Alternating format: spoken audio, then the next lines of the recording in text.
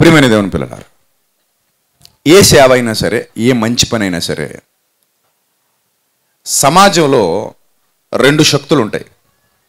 రాత్రి జాన్వేసిలి అన్న చెప్పినట్టు చీకటి ఉంటే ఏముంటుందట? వెలుగు ఉంటుంది దేవుడు ఉంటే దయ్యం ఉంటుంది. సత్యం ఉన్న చోట సత్యానికి వ్యతిరేకంగా అసత్యం ఉంటుంది.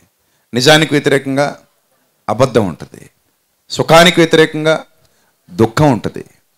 అదే మాదిరి యేసుక్రీస్తు ప్రభువారు దేవాది దేవుని కుమారుడుగా శరీరధారిగా ఈ భూమి మీద అడుగుపెట్టినప్పుడు ఆయన పరిచర్య ఎలా సాగింది అని మీరు ఆలోచిస్తే మీరు ఏమనుకుంటారంటే సాత్వికంగా శాంతియుతంగా ప్రేమపూర్వక వాతావరణంలో ఇబ్బంది లేకుండా ప్రశాంతంగా పరిచర్య సాగింది అనుకుంటారు. ఎక్కువ మంది క్రైస్తవులు అపోహపడతారు. నేను చెప్తున్నాను కదా చాలామంది అసలు బైబిల్ సరిగా చదవరు. అస్సలు చదవరు. చదివినా కూడా పిన్ టు పిన్ అబ్జర్వ్ చేసుకుంటూ ప్రతిదాన్ని విడమర్చుకుని ఆలోచించుకుంటూ ఇందులో సారాంశం ఏంటి అనే ఆలోచనతో చదవరు. ఆ కీర్తనలు ఎక్కువ చదువుతారట మనవాళ్ళు నా యొక్క సర్వేలో తెలిసింది అదే. క్రైస్తవ్యంలో ఎక్కువ చదవబడుతున్న గ్రంథం ఏది? కీర్తనలు. ఇంకా కీర్తనలు తప్ప ఇంక పుస్తకాలు లేవే మరి మనకు బైబిల్లో. నేను ఒక రోజు ఒక అతన్ని అడిగా నువ్వు బైబిల్లో ఎక్కువ నేను చాలామందిని అడిగాలి ఎక్కువ చదివిన పుస్తకం అంటే కీర్తనలు అండి.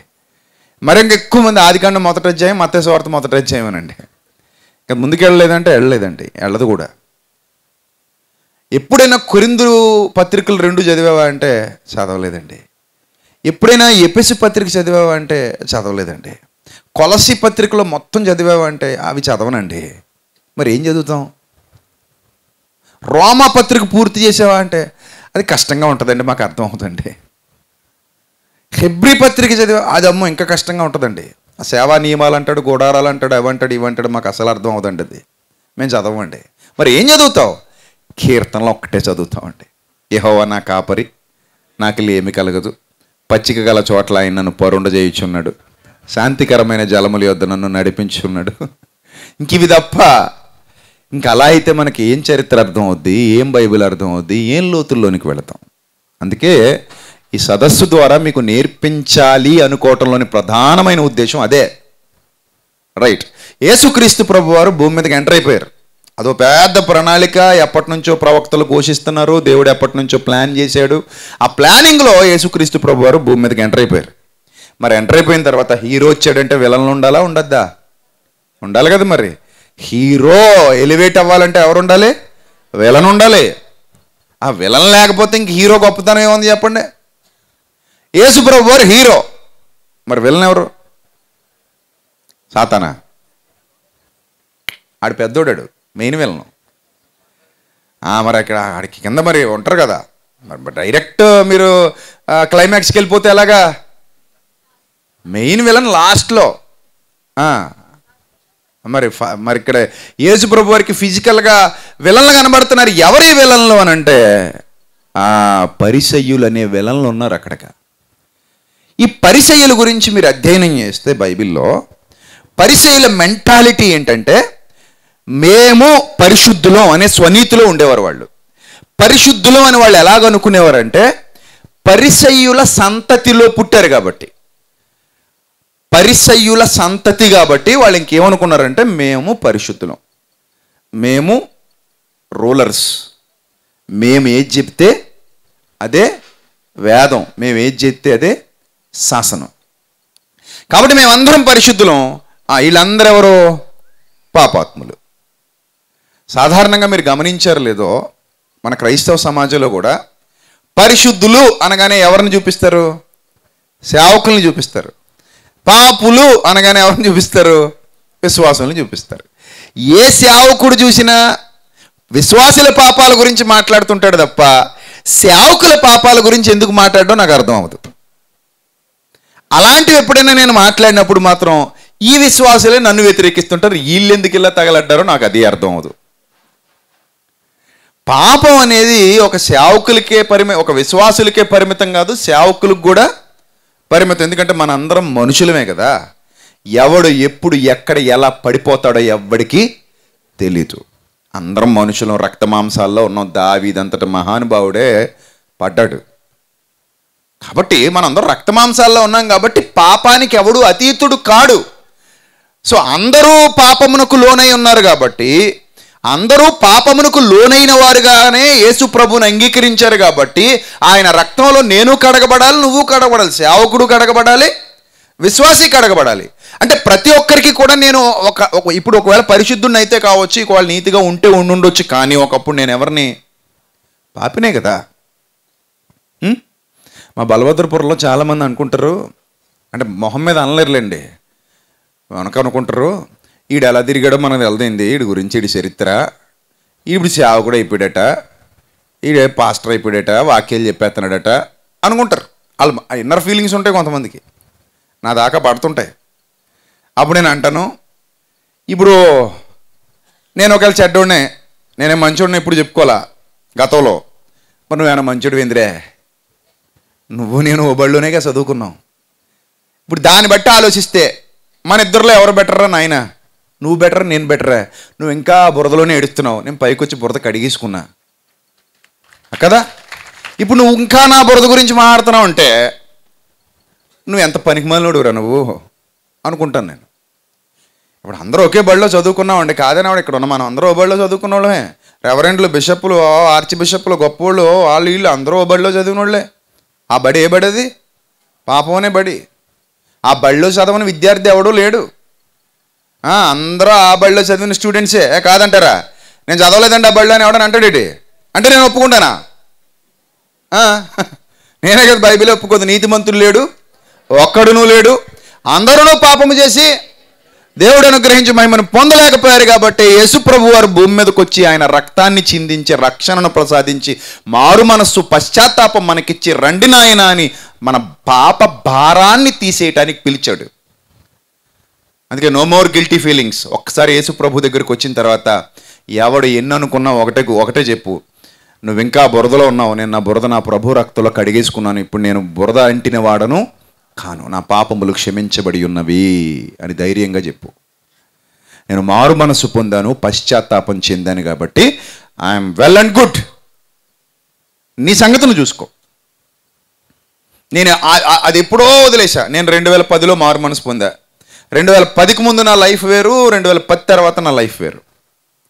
ఇదే ఊళ్ళో వా ఒక రేంజ్లో తిరిగినోడిని.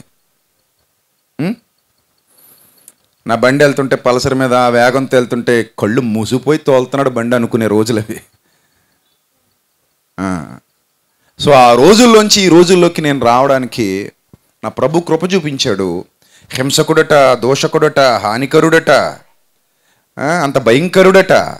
ఆ భయంకరుణ్ణి తీసుకొచ్చి ఏం చేశాడు? ఒక మహాభక్తుణ్ణి చేసి కూర్చోబెట్టాడు. ఆయన నోటి వెంట జీవ జల నదులు ప్రవహించాయి. ఇప్పుడు కూడా ఈ బలభద్రపురం అనే చిన్న గ్రామానికి ఇన్ని వేల మంది వస్తున్నారంటే మొన్న ఒక ఆయన అంటున్నాడు ఏమండి ఇదివరకు బలభద్రపురం అంటే అది ఇది ఇది అది ఇంకోటి చెప్పుకునే వాళ్ళం ఈ మధ్య విజయప్రసాద్ రెడ్డి గారు సత్యం చెప్పుకుంటున్నామండి బాబు. ఎక్కడికి వెళ్ళినా కానీ మీ పేరు అడుగుతున్నారు. బలభద్రపురం అనగానే మీకు ప్రసాద్ రెడ్డి గారు తెలుసా అని అడుగుతున్నారండి. అబ్బా భలే ఊరి పేరు భలే నిలబెట్టేశారండి. గూగుల్లో కూడా బలభద్రపురం కొడుతుంటే మీ ఫోటోలు అవుతున్నాయి అండి సో ఏదేమైనా దేవుని మహాకృప నజరేత్ అనేది చిన్న ఊరు కానీ ఆ చిన్న ఊరిలో నుంచి దేవుడు మన ప్రభువునే రప్పించాడు. అలాగే చిన్న ఊరైనా పెద్ద ఊరైనా ఏ ఊరైనా ఊరు గొప్పది కాదు తీరు గొప్పది. అన్ని ఊర్లో ఒకలాగా ఉంటాయి చూడడానికి. అక్కడ ఉండే తీరుని బట్టే ఊరికి పేరు వస్తుంది.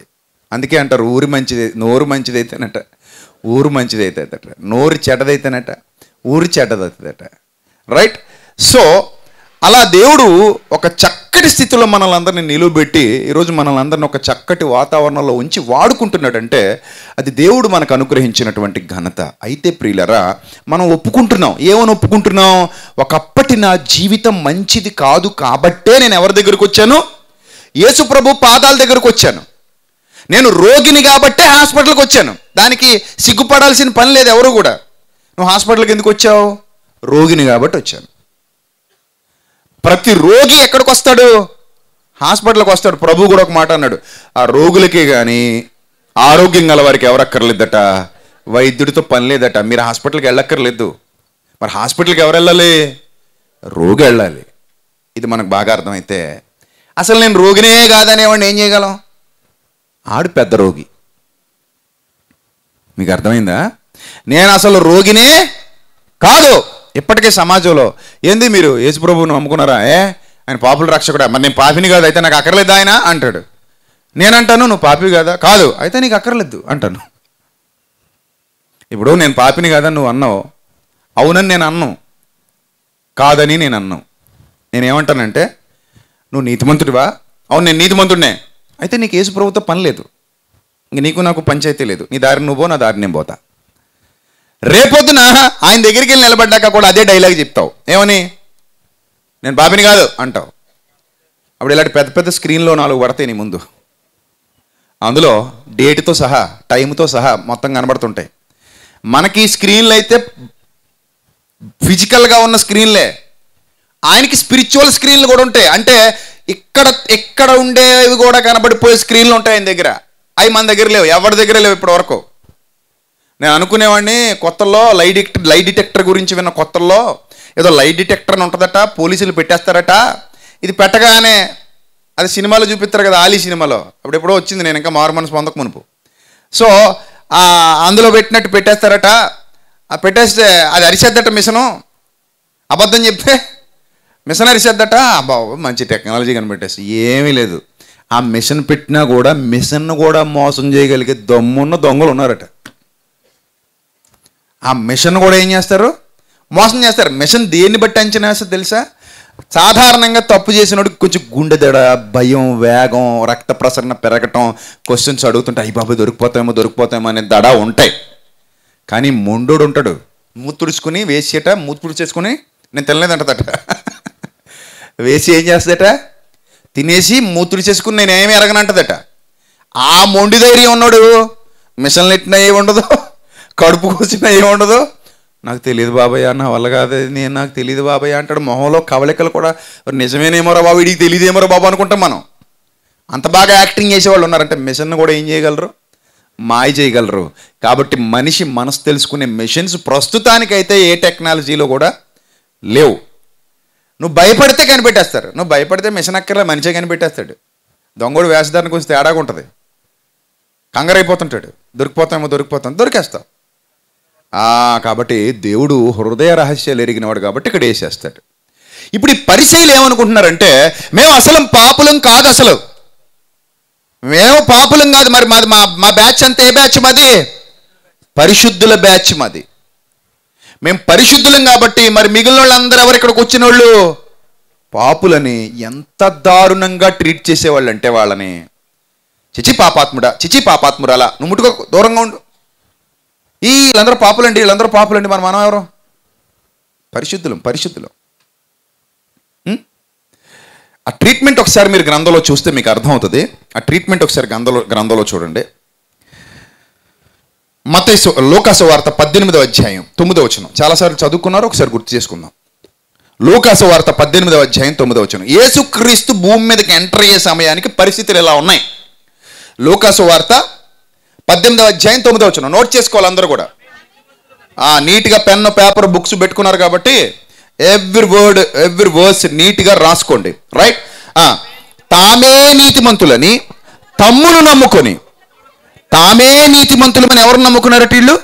తమ్మును నమ్ముకొని ఇతరులను తృణీకరించి కొందరితో ఆయన ఈ ఉపమానము చెప్పాను. నేనే నీతిమంతుడిని నువ్వు పాపివి. ఏమండి? ఒక మాట. మీరు మనసుని అడగండి. మీ మనసు మీకు ఏం చెప్పుద్దంటే ఇక్కడ ఉన్న వాళ్ళందరిలో నువ్వు చాలా బెటర్ రా అని నీ మనసుకి అనిపిస్తుందా? అనిపించదా? ఒకవేళ పాపుల లిస్ట్ తీస్తే అవి నాకంటే భయంకరులు ప్రపంచంలో బోళ్ళు మంది ఉన్నారని నేను పెద్ద పాపినిందండి అనుకుంటాం మనం. ఎప్పుడు అలాగ అనుకుంటాం? ఇక్కడ అందరిలో బాగా భయంకరుడు ఎవడున్నాడో చేయొత్తానంటే ఒకడు ఎత్తడు.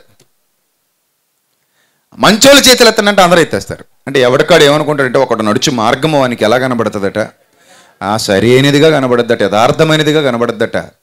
వీళ్ళు కూడా మేమే నీతిమంతులు అనుకుంటున్నారు పరిచయులు మేమే నీతిమంతులు అనుకుంటూ ఇతరుల్ని ఏం చేస్తున్నారు? పో నువ్వు నీతిమంతుడు అయితే అయ్యావు. సరే నువ్వు నీతిమంతుడు అయ్యి ఇతరుల్ని ఏం చేస్తున్నావు? తృణీకరిస్తున్నావు. అంటే దాని అర్థం ఏంటంటే వాడిని తృణీకరిస్తేనే వీడు నీతిమంతుడిలా కనబడతాడన్నది వీడి భావన. నీకు అర్థమైందా? మా దగ్గర ఇడ్లీలే బాగుంటాయి. అక్కడ బాగోవు. అని హోటలోడు హోటలోడు కొట్టుకుంటున్నారు అనుకోండి. దాని అర్థం ఏంటంటే అక్కడ ఉన్నది ఇడ్లీయే ఇక్కడ ఉన్నది ఇడ్లీయే. అక్కడ ఉన్న చట్నీయే ఇక్కడ ఉన్న చట్నీయే. కాకపోతే వీడు ఏమంటాడంటే నా ఇడ్లీ బాగుంటుంది వాడి ఇడ్లీ బాగోదు. ఆడిది మినప్పిండి ఇడిది మినప్పిండే. అంటే ఈ- ఈ మెంటాలిటీ ఏంటంటే ఎప్పుడైతే వాడిని తిడతాడో వీడు గొప్పోడు అవుతాడన్న నమ్మకాలు ప్రజల్లో ఉన్నాయి. నిజాలైతే తప్పులేదు. కానీ వాళ్ళను వాళ్ళే నీతిమంతులు అనుకున్నప్పుడు మిగిలిన వాళ్ళందరూ ఎలా కనబడతారు? పాపుల్లాగే కనబడతారు. మేము అందరూ ఓబళ్ళలోనే చదువుకున్నాం అనుకున్నప్పుడు మిగిలిన వాళ్ళు కూడా ఎలా కనబడతారు? అయ్యో పాపం మనలా రోగులే కదా అని కనబడతారు. మీకు అర్థమవుతుందా?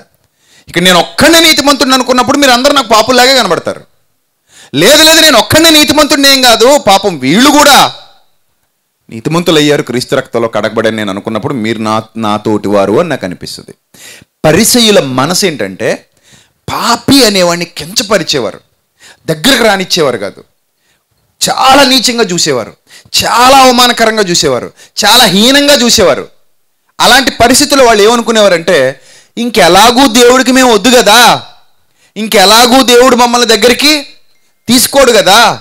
ఇంకెలాగూ దేవుడు ఆశ్రయం పొందటానికి మాకు అర్హత లేదు కదా. ఇంకేం చేద్దాం మనం? ఆ పాపమే చేసుకుంటే ఇంక అలాగే బతికేద్దాం. ఏదో మొదలెట్టాం కదా. ఇంక అలాగే ఉందాం.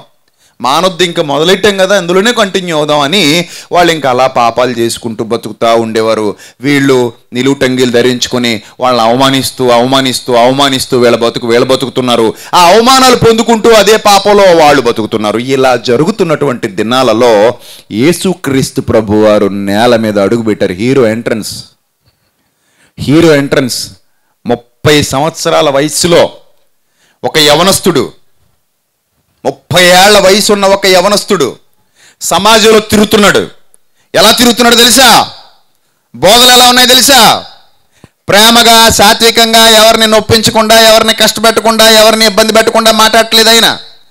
ఎవడైతే నేను హై ప్రీస్ట్ అనుకుంటున్నాడో ఎవడైతే అప్పటి వరకు పరిశుద్ధున్నని ముద్ర వేసుకుని పైకెక్కి కూర్చున్నాడో ఎవడైతే పాపులని చెప్పి అందరినీ కించపరుస్తూ అవమానపరుస్తూ దగ్గర కూడా రానివ్వకుండా వాళ్ళందరినీ దూరం పెట్టి నేనొక్కడిని గొప్పోడిని మీరందరూ పనికి మాలోళ్ళన్న సంకేతాలు సమాజానికి ఇస్తూ అగ్రపేటాన్ని అధిరోహించాడో వాణ్ణి టార్గెట్ చేసి మాట్లాడడం మొదలు పెట్టాడు ఎప్పుడైతే ఇలా మాట్లాడుతున్నాడో పరిశుద్ధుడు పరిశుద్ధుడు పరిశుద్ధుడని దేవుడు దేవుని దూతలు అంటున్నట్టు ఈ పరిశైలందరూ ఏమంటున్నారు? పరిశయ్యులు అనట్లేదు. పరిశుద్ధులు పరిశుద్ధులు పరిశయ్యులు కాదు ఇంకా పరిశుద్ధులే. అలా పరిశుద్ధులు పరిశుద్ధులు పరిశుద్ధులు అనిపించుకుంటున్న వాళ్ళని ఏం చేస్తున్నాడు చూడండి. ఏం చేస్తున్నాడు చూడండి. ఇక్కడ నుంచి మొదలైంది స్టార్ట్ అయింది. చూడండి. మత్తేసు వార్త. మత్తేసు వార్త. ఇరవై మూడో అధ్యాయం. ఇరవై మూడో వచనం. ఆ అధ్యాయం మొత్తం దరువే. నేను ఒక రెఫరెన్సే చెప్తున్నాను కానీ ఆ అధ్యాయం మొత్తం వాళ్ళకి దరువు ఉంటుంది. ఆ ఇరవై మూడు ఇరవై మూడు అయ్యో వేషధారులైన శాస్త్రులారా పరిసయ్యులారా బాబా. ఏమన్నాడు?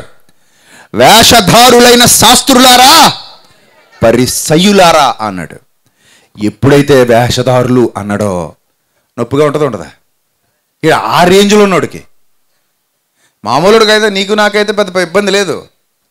ఇప్పుడు సమాజంలో పేరెన్నిక కానీ సమాజంలో ఒక ఉన్నతమైన స్థితికి వెళ్ళిపోయి సమాజంలో ఓ గొప్పగా పే- పేరుంది గొప్పగా పిలువబడుతూ గొప్పగా వర్ణింపబడుతున్నాడు దగ్గరికి వెళ్ళి వేషధారి అన్నాం అనుకోండి. అతనికి అతని అభిమానులకు కూడా ఏమొస్తుంది? అతని అనుచరులకు కూడా ఏమొస్తుంది? నొప్పి వస్తుంది వ్యతిరేకం అవుతాడా? అవడా యేసుప్రభు. అవుతాడు. వాతావరణం ఎలా ఉంటుంది? గలిబిలి గందరగోళంగా ఉంటుందా? శాంతంగా ప్రశాంతంగా సమాధానకరంగా ఉంటుందా? ఎలా ఉంటుంది చెప్పండి? అంత గలిబిలి. రెండు వర్గాలు ఇప్పుడు చూడండి. పార్టీలలో ఎలా తిట్టుకుంటారో చూస్తున్నాం కదా. దరిద్రం అసలు చూడలేం మనం. ఆ పార్టీ వాడు ఈ పార్టీ వాడిని తిడతాడు ఈ పార్టీ వాడు ఆ పార్టీ వాడిని తిడతాడు. వాడి వీడు బయట ఎడుతుంటాడు వీడి వాడు బయట ఎడుతుంటాడు అంటే వీళ్ళ ఉద్దేశం ఏంటంటే ఇలా తిట్టుకుంటే జనంలో మనం గొప్పవాళ్ళు అయిపోతాం అనుకుంటారు. తిట్టుకుంటే గొప్పవాళ్ళు అయిపోర్రా నాయన మీరు. మీరు సమాజానికి చేసే మంచి పనులు సమాజానికి చూపెట్టుకుంటే గొప్పవాళ్ళు అవుతారు. అంతేగాని ఆ పార్టీని ఈ పార్టీ తిట్టుకుని ఈ పార్టీ ఆ పార్టీ తిట్టుకుని తిట్టుకుంటే గొప్పవాళ్ళు ఎవరు? తిట్లు విని ప్రజలు ఎవరు ఓట్లేరు మరి ఏం చేయాలి? నా అభివృద్ధిది అని సమాజానికి ఎవరు చూపించుకుంటారో నేను చేసిన అభివృద్ధిది నా యథార్థతిది నా పాలనిది ప్రజల పట్ల నాకున్న ప్రేమిది అని ప్రజలలోనికి వచ్చి ప్రజలతో కలిసి ప్రజల కష్ట సుఖాలు తెలుసుకుంటూ ఎవరైతే వాళ్ళ బాగోగులు ఒక తండ్రిలా తల్లిలా చూసుకుంటారో వాళ్ళకి ప్రజలు ఓట్లేస్తారు. తిట్టేసినంత మాత్రాన ఎవడికి వాడి మీద ఉన్న అభిమానం తగ్గిపోదు. నన్ను తిట్టేయండి నా చర్చి పిల్లలు నన్ను వదిలేసి వెళ్ళిపోతారా ఏంది? నువ్వు నన్ను తిడితే నా దగ్గర ఉన్న పిల్లలు నేను నేనంటే ఏంటో తెలిసిన నా పిల్లలు నన్ను విడిచిట్టి మా అన్నయ్య నాడు తిట్టాడు కాబట్టి అదే నిజమని నమ్మేసి వెళ్ళిపోతారా? ఎవడు వెళ్ళడు కానీ ఇప్పుడు జరుగుతున్నది అదే. పార్టీలో చూడండి తిట్టుకోవడమే తిట్టుకోవడమే తిట్టుకోవడమే. తిట్టుకుంటేనే అభివృద్ధి అనుకుంటున్నారు. తిట్టుకోవడం అభివృద్ధి కాదు. ప్రజల్ని ప్రజల బాగోగులను ఆలోచించడం అభివృద్ధి వాళ్ళ కోసం కష్టపడడం అభివృద్ధి అంటే. అది పరిపాలన అంటే. రైట్ ఇప్పుడు యేసుక్రీస్తు ప్రభు వారు చేస్తున్నటువంటి ఈ యొక్క పరిచర్య ఈ పరిచర్యలో యేసుక్రీస్తు ప్రభువారు నిజాలు మాట్లాడుతున్నారు. ఖచ్చితమైన నిజాలు మాట్లాడుతున్నారు. బలమైన నిజాలు మాట్లాడుతున్నారు. ఎవరిని పట్టించుకోవట్లా మీరు వేషధారులు అయితే వేషధారులనే అంటున్నాడు. గుడ్డి పరిసయుడా గిన్నె పళ్ళెము లోపల శుభ్రం చేయి. ఎంత మాట ఎంత మాట? నిన్నన్నాడా? నన్ను అన్నాడు. మనల్ని అందరిని అన్నాడు. రా. సమావేశం పెట్టుకుంటారు కదా. ఏం చేద్దాం? వేసేద్దామా? చేద్దామా ఎక్కడ వేస్తావా? ఎంతమంది జనాలు ఉన్నారు చూడు. ఈ జనాల్లోకి వెళ్ళి ఏమేస్తాం ఇప్పుడు వెయ్యాలంటే ఏం చేయాలి? దొరకాలి కదా ఒంటరిగా. ఆ దొరకాలి. మరి ఎక్కడ వేయగలం మనం ఇతన్ని? ఏ ఇతను సేవేదత్నం చేసుకోవచ్చు కదా? మన మీద పడ్డాడేటంటావు ఏమో నాకు అర్థం కావట్లేదు. అన్ని బయటెట్టేస్తున్నాడు. ఈయన కొన్ని రహస్యాలు ఎలా తెలిసిపోతున్నాయి అంటావు? మనం సీక్రెట్గా చేసినవి కూడా చెప్పేస్తున్నాడు బయట. ఎలా తెలిసిపోతున్నాయి అంటావు? అదే అర్థం కావట్లేదు రబ్బిగా మరి ఏం చేయాలో చేయాలి. ఏదోటి చేసి మన ఓడి మొత్తమే కథం చేసేయకపోతే మన ఉనికే దెబ్బతినేలా ఉంది. విలన్ గుంపు తయారైపోయింది. విలన్ల గుంపు. చాలా పెద్ద విలన్ల గుంపు తయారు చేసుకున్నాడు ఈయన యేసుప్రభు వారు ఇంకెక్కడ చూడండి గుడ్డి పరిచయుడ శాస్త్రి మీరు పుదీనా సోపు జీలకర్రలో పది వంతు నుంచి ధర్మశాస్త్రంలో ప్రధానమైన విషయాలు. అనగా మీ బతుకుల్లో న్యాయం లేదు మీ బతుకుల్లో కనికరం లేదు. ఒక్క పాపి పట్లైన కనికరంగా చూస్తారా మీరు? ఒక్క పాపనైనా కనికరించి అయ్యో పాపం రామ్మాని పిలిచి దగ్గర చేసుకుని ఆమెకు మారు మనసు వచ్చేలాగా ఆమెను ప్రేరేపించి ఆమెకు మంచి బ్రతికిద్దామన్న ఆలోచనలు ఉంటాయా మీకు?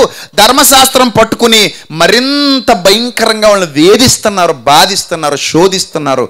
వాళ్ళని ఇంకా పాపంలో నెట్టేస్తున్నారు తప్ప ఆ పాపం నుంచి బయటికి తీసుకొచ్చే మంచి మాటలు చెప్పట్లేదు. తిట్ మీ పిల్లల్ని తిడుతూ ఉండండి. ఆడు ఇంకా తప్పు చేస్తానే ఉంటాడు.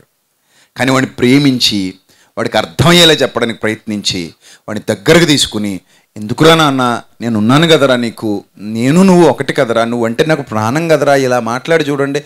వాడు ఆలోచించడం మొదలు పెడతాడు. ఈ రోజు కాకపోతే ఇంకో రోజైనా ఆలోచిస్తాడు ఇంకో రోజైనా ఆలోచిస్తాడు ఇంకో రోజుకైనా ఆలోచిస్తాడు. ప్రేమ మనిషిని మార్చేస్తుంది. ఏమండి?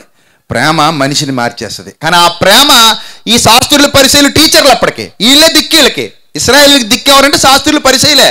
వాళ్ళు మారాలన్నా వీళ్ళే దిక్కు వాళ్ళు బోధ వినాలన్నా వీళ్ళే దిక్కు వాళ్ళు ప్రభు చెంతకు వెళ్ళాలన్నా వీళ్ళే దిక్కు వాళ్ళు దేవుని కార్యక్రమాల్లో పాల్గొనాలన్నా వీళ్ళే దిక్కు. వీళ్ళే దరిద్రంగా తయారయ్యి. మీరు అసలు ముట్టుకోకండి. దగ్గర రాకండి. చిచ్చి చిచ్చి అసహ్యం మీ బతుకుల అసహ్యం శంకరులారా మీ బతుకుల అసహ్యం వేశ్యలారా. మీ బతుకుల అసహ్యం. పోనీ వీళ్ళు ఏమైనా నీతిమంతులు అంటే వీళ్ళు అదే కేటగిరీ. వీళ్ళు సీక్రెట్గా చేస్తారు. జనానికి ఏం క్రియేట్ చేశారంటే వాళ్ళు చేసినా పర్లేదండి మనం చేస్తేనే పాపం అన్నమాట. మన భారతదేశంలో కూడా కొన్ని పుస్తకాలు ఉన్నాయి. నేను పేర్లు చెప్పను కానీ అందులో కొంతమంది చేస్తే అది పుణ్యం. సామాన్య ప్రజలు చేస్తే పాపం. అంటే శూద్రుడు చేస్తేనేమో పాపం. ఆడు చేస్తే పుణ్యం అన్నట్టుగా రాసుకున్న పుస్తకాలు ఉన్నాయి. ఈ ధర్మశాస్త్రంలో కూడా ఇంక ఇంచుమించు ధర్మశాస్త్రాన్ని వక్రీకరించి మొదలుపెట్టారు. అనేక కల్పితాలు సృష్టించేశారట అప్పటికే. ఒకటి కాదు రెండు కాదు కల్పితాల మీద కల్పితాలు కల్పితాల మీద కల్పితాలు సృష్టించేశారు. అలా సృష్టించేసి ఎంత దారుణాతి దారుణంగా మారిపోయారంటే పాపిని దగ్గరకు రానివ్వకుండా వేలేసే పరిస్థితి. ఎంత చీప్గా చూస్తున్నారో కూడా మనం చూడొచ్చు. ఒకసారి చూడండి మత్తేసు వార్త తొమ్మిదవ అధ్యాయం పది పదకొండు పన్నెండు వచనాలు చదువుదాం. మత్తేసు వార్త తొమ్మిదవ అధ్యాయం పది పదకొండు పన్నెండు వచనాలు. ఇంటిలో భోజనమును కేసి కూర్చుని ఉండగా అనేకులు వచ్చి ఆయన యొద్ద ఆయన శిష్యుల యొద్ద కూర్చున్నారట. వాళ్ళు అసలు పక్కన కూర్చునే అవకాశమే ఇవ్వలేదు. ఎవరు? శాస్త్రులు పరిచయులు ప్రభు ఏం చేస్తాడు వెళ్ళని? పక్కన కూర్చోబెట్టేసుకుంటున్నాడు. చూడండి నిజమైన పరిశుద్ధుడికి దొంగ పరిశుద్ధుడికి ఉన్న తేడా అది. నిజమైన పరిశుద్ధుడు పాపుల పక్షంగా ఆలోచించి వాళ్ళని మార్చాలని చూస్తాడు. దొంగ పరిశుద్ధుడు వాళ్ళని కించపరుస్తూ అవమానపరుస్తూ ఈడు గొప్ప ఉండని చెప్పుకోవడానికి ట్రై చేస్తుంటాడు. మీరు అదే తేడా గమనిస్తుండాలి. ఏ బోధలో అయినా సరే. నేను పరిశుద్ధుడని చెప్పుకోవడానికి ట్రై చేస్తూ మిమ్మల్ని కించపరిచి మాట్లాడుతున్నాడంటే వాడు దొంగ. లేదు మనమంతా ఒకటే. మీరు మారాలి అని మీ పట్ల ప్రేమతో వ్యవహరిస్తున్నాడంటే వాడు నిజమైన దేవుని పరిశుద్ధుడు. ఎందుకంటే డాక్టర్ కూడా రోగం వస్తుంది. రోగి అనగానే డాక్టర్ రోగి కాదు అనడానికి సరిపోరు ఎవరు. డాక్టర్ కూడా ఏమయ్యే అవకాశం ఉంది? రోగి అయ్యే అవకాశం ఉంది. రోగి అయ్యాకనే డాక్టర్ అవుతాడు.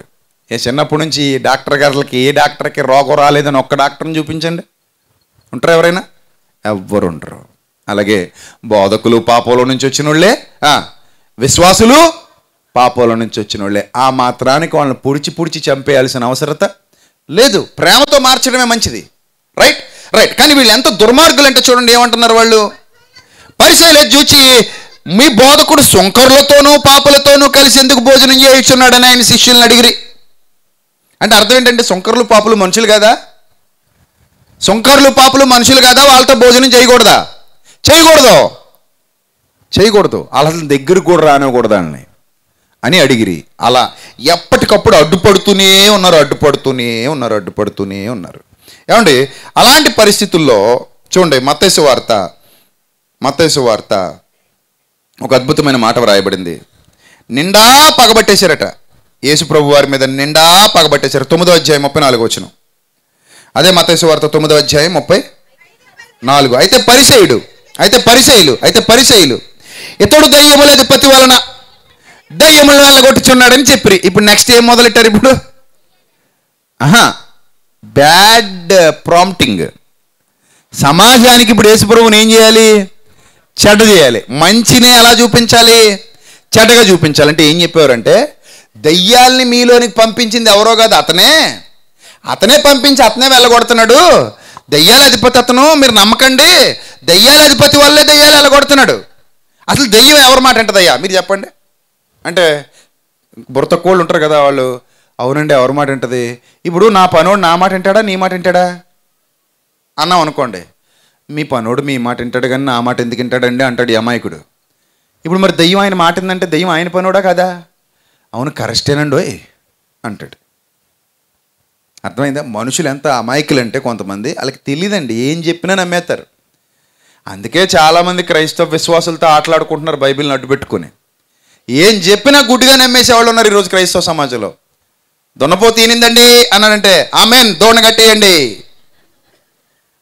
అందుకని ఎవరో దున్నపోతు ఏందిరా నాయన? దున్నపోతుకి ఈయన గుణం లేదురా అది అది దూడలను పెట్టదురా అంత తెలివిగా ఆలోచించే గుణాలు లేవు చాలా మందికి దున్నపోతు ఈనింది గాక ఆమెన్ దోణ కట్టేయండి గాక. అలాంటి దౌర్భాగ్యకరమైన పరిస్థితి ఆ రోజుల్లో కూడా అలాగే ఉన్నారు. ఇతడు దయ్యాలకు అధిపతి అనగానే నమ్మేశారు. మళ్ళీ ఆయన క్లారిఫికేషన్ మళ్ళీ ఆయన క్లారిఫికేషన్ ఇచ్చేవాడు. అరే బాబు నేను దయ్యముల వలన దయ్య బయల్జిబుల్ వలన దయ్యములు వెళ్ళగొట్టట్లేదురా నాయన. నేను దయ్యాన్ని కాదురా నాయన. నేను దురాత్మ కలిగిన వాడను కాదు మీర్రా నాయన దయ్యాలనేవాడు ఆయన. చూడండి ఆ రకంగా ఆ రోజుల్లో ఒక గొప్ప యుద్ధమే జరుగుతుంది. పెద్ద విలన్లు అయిపోయారు వాళ్ళు. యేసుప్రభు వారికి చుట్టూ తిరుగుతూ ఇంకా మత వార్త పన్నెండు అధ్యాయ ఇరవై నాలుగు వచ్చిన కూడా ఒకసారి చూద్దాం. మత్స్యవార్త పన్నెండు అధ్యాయ ఇరవై నాలుగు వచ్చిన. పరిచయలా మాట విని వీడు గౌరవం కూడా పోగొట్టేసుకున్నారు ఇంకా. చివరికి ఏ స్థాయికి వచ్చారు ఏ స్థాయికి వచ్చారు వీడు. వీడంటే మనం అనగలమా? అనగలమండి. యేసుప్రభు వారిని ఎవడైనా తిడుతుంటేనే నాకు రక్తం మరిగిపోతుంటుంది. ఏం పాపం చేశాడని తిడుతున్నావురా నీచురా అనుకుంటాను. అసలు ఆయన పరిశుద్ధతను బట్టి తిడుతున్నావా? ఆయన యథార్థతను బట్టి తిడుతున్నావా? ఆయన మంచోడికే ఏదో కాసే చెట్టుకే రాళ్ళ దెబ్బలు అన్నట్టు. యేసు ప్రభువుని తిట్టాల్సిన అవసరం ఏంటి? ఏం తప్పు చేశాడు చెప్పని అడుగుతుంటాను నేను చాలాసార్లు. నా ప్రసంగాల్లో మీరు వినే ఉంటారు. ఏం తప్పు చేశాడో చెప్పి అప్పుడు తిట్టు. ఏం పాపం చేశాడో చెప్పి అప్పుడు తిట్టు. నీలాంటి బురదలో దొరలే పందులకి యేసు ప్రభు లాంటి పరిశుద్ధుణ్ణి తిట్టే అధికారం లేదు. లేదు. ఏ రైట్తో తిడతావు నువ్వు ఆయన్ని? మమ్మల్ని తిట్టుపోని పడతాం మనందరూ బడిలో చదువుకున్నాం కాబట్టి. ఆయన తిట్టడం ఏంటి? నీకు అధికారం లేదు. అధికారం లేదు. కానీ వీళ్ళు ఏ స్థాయికి వెళ్ళిపోయారంటే వీడు అన్నారట.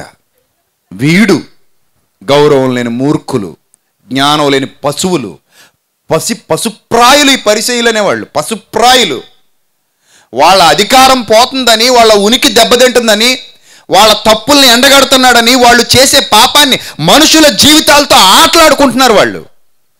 ఆ పాపుల జీవితాలతో ఆటలాడుకుంటున్నారని వాళ్ళు ఖండించడం మొదలు పెడితే ప్రభునే భయంకరంగా వాడు వీడు అంటున్నారు చూడండి. ఏమన్నారట? వీడు దయ్యములకు అధిపతి అయినా ఆ బయల్జబూల వలననే దయ్యములను వెళ్ళగొట్టుచున్నాడు కానీ ఆ దేవుని వలన కాదట. దేని వల్ల వెళ్ళగొడుతున్నాడట?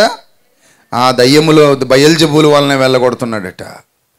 అంత క్రూరంగా మాట్లాడేవారు. పదహారవ అధ్యాయం ఆరో వచ్చిన మత్తైసు వార్త మత్తైసు వార్త పదహారవ అధ్యాయం ఆరో అప్పుడు యేసు చూచుకొనుడి శాస్త్రులు పరిసయులను పులిసిన పిండిని గూర్చి జాగ్రత్త పడండి. శాస్త్రులు పరిసయుల పులిసిన పిండి అంటే ఏం పిండి అది పన్నెండవచనం అప్పుడు రొట్టెల పులిసిన పిండిని గూర్చి కాదు కానీ పరిశైలు సద్దుకైలను వారి బోధను గూర్చి జాగ్రత్త పడాలని ఆయన తమతో చెప్పినని వారు గ్రహించిరి. ఈ విధంగా ఈ బోధకు బోధకునికి పరిశైలికి యేసుప్రభు వారికి పరిశైలికి మధ్యలో గొప్ప యుద్ధం జరుగుతుంది గొప్ప యుద్ధం జరుగుతుంది. ఎందుకే వాళ్ళు దేవుణ్ణి అంగీకరించిన వాళ్ళు కాదు నిరాకరించారు. చూడండి లోకాసు వార్త ఏడవ అధ్యాయం ముప్పై వచనం. లోకాసు వార్త ఏడవ అధ్యాయం ముప్పై వచనం. పరిశైలు ధర్మశాస్త్రోపదేశకులు అతని చేత బాప్తిస్మము పొందక పొందలేదట. తమ విషయమైన దేవుని సంకల్పాన్నే ఏం చేశారట? నిరాకరించారట. బయటపడి దేవుణ్ణే నిరాకరించేశారట చివరికి ఇంకా. మనిషి తన స్వార్థం అధికమైపోయినప్పుడు దేవుని కూడా పక్కన పెట్టేస్తాడు. ఆ. మనిషి పాపానికి పట్టబడ్డప్పుడు దేవుని కూడా పక్కన పెట్టేస్తాడు. ఆయన మాటలను కూడా పక్కన పెట్టేస్తాడు. ధనాపేక్షకు లొంగిపోయినప్పుడు ఆ డబ్బు కోసం గడ్డి తినే పరిస్థితులు వచ్చినప్పుడు దేవుని వాక్యాన్ని కూడా ఏం చేస్తాడు? పక్కన పెట్టేస్తాడు. పక్కన పెట్టేసి కల్పనా కథల వైపుకు తిరుగు కాలము వచ్చును అన్నాడు. వాక్యంలో ఉన్న సంగతులు మరిచిపోతాడు. అందులో వ్రాయబడిన అద్భుతమైన సంగతులు మరిచిపోతాడు. పాపానికి చోటిచ్చేస్తాడు చూడండి వీళ్ళు ఏం చేశారట? వారు తమ విషయమైన దేవుని సంకల్పాన్ని ఏం చేశారట? నిరాకరించేశారట. అంటే వద్దు నువ్వు. వద్దన్నారు. అది ఎందుకు నిరాకరించారంటే దానికి ముందు సంఘటన జరిగింది. ఆ సంఘటన ఏంటంటే బాప్తిస్మం ఇచ్చి యోహాను బాప్తిస్మం ఇవ్వటం మొదలుపెట్టాడు. ప్రవక్తగా వచ్చి మార్గం సరళం చేస్తున్నాడు. బాప్తిస్మం అనేది పరిచయం చేస్తున్నాడు ఇస్రాయేల్కి. అప్పటి వరకు బాప్తిస్మం అనేది లేదు వాళ్ళలో. బాప్తిస్మం అనే పదాన్ని పరిచయం చేస్తూ ఆయన సంకల్పాన్ని పరిచయం చేస్తూ బాప్తిస్మిచ్చి యోహాను ఉన్నటువంటి దినాల్లో ఈ జనాలందరూ ఆయన ప్రవక్తను నమ్మి ఆయన దగ్గర బాప్తిసం పొందడానికి వచ్చేవారు. సో జనాలందరూ వెళ్ళిపోతున్నారు కాబట్టి ఆయన పెద్దోడైపోయాడు. పెద్దోడైపోతే మనకి కావాలి ఇంకా. జనం సైకాలజీ అది. సో ఆయన పెద్దోడైపోయాడు కాబట్టి ఆయన అందరు ఇష్టపడుతున్నారు కాబట్టి మనం కూడా వెళ్దాం అని మెల్లిగా ఎక్కడికి వెళ్ళారు వీళ్ళు? బాప్తిస్మి చౌహాన్ దగ్గరికి వెళ్ళారు. ఆయన ఎలాంటోడంటే చూడంటే తోక దొక్కిన తాసుపాములా లేచిపోయే రకం. ఆయన ఆ టైపు. ఆయన దగ్గరికి వెళ్ళారు వీళ్ళు. ఈ మత్స్యవార్త మూడో అధ్యాయం చూడండి ఏం జరిగిందో? ఏడో వచ్చినాం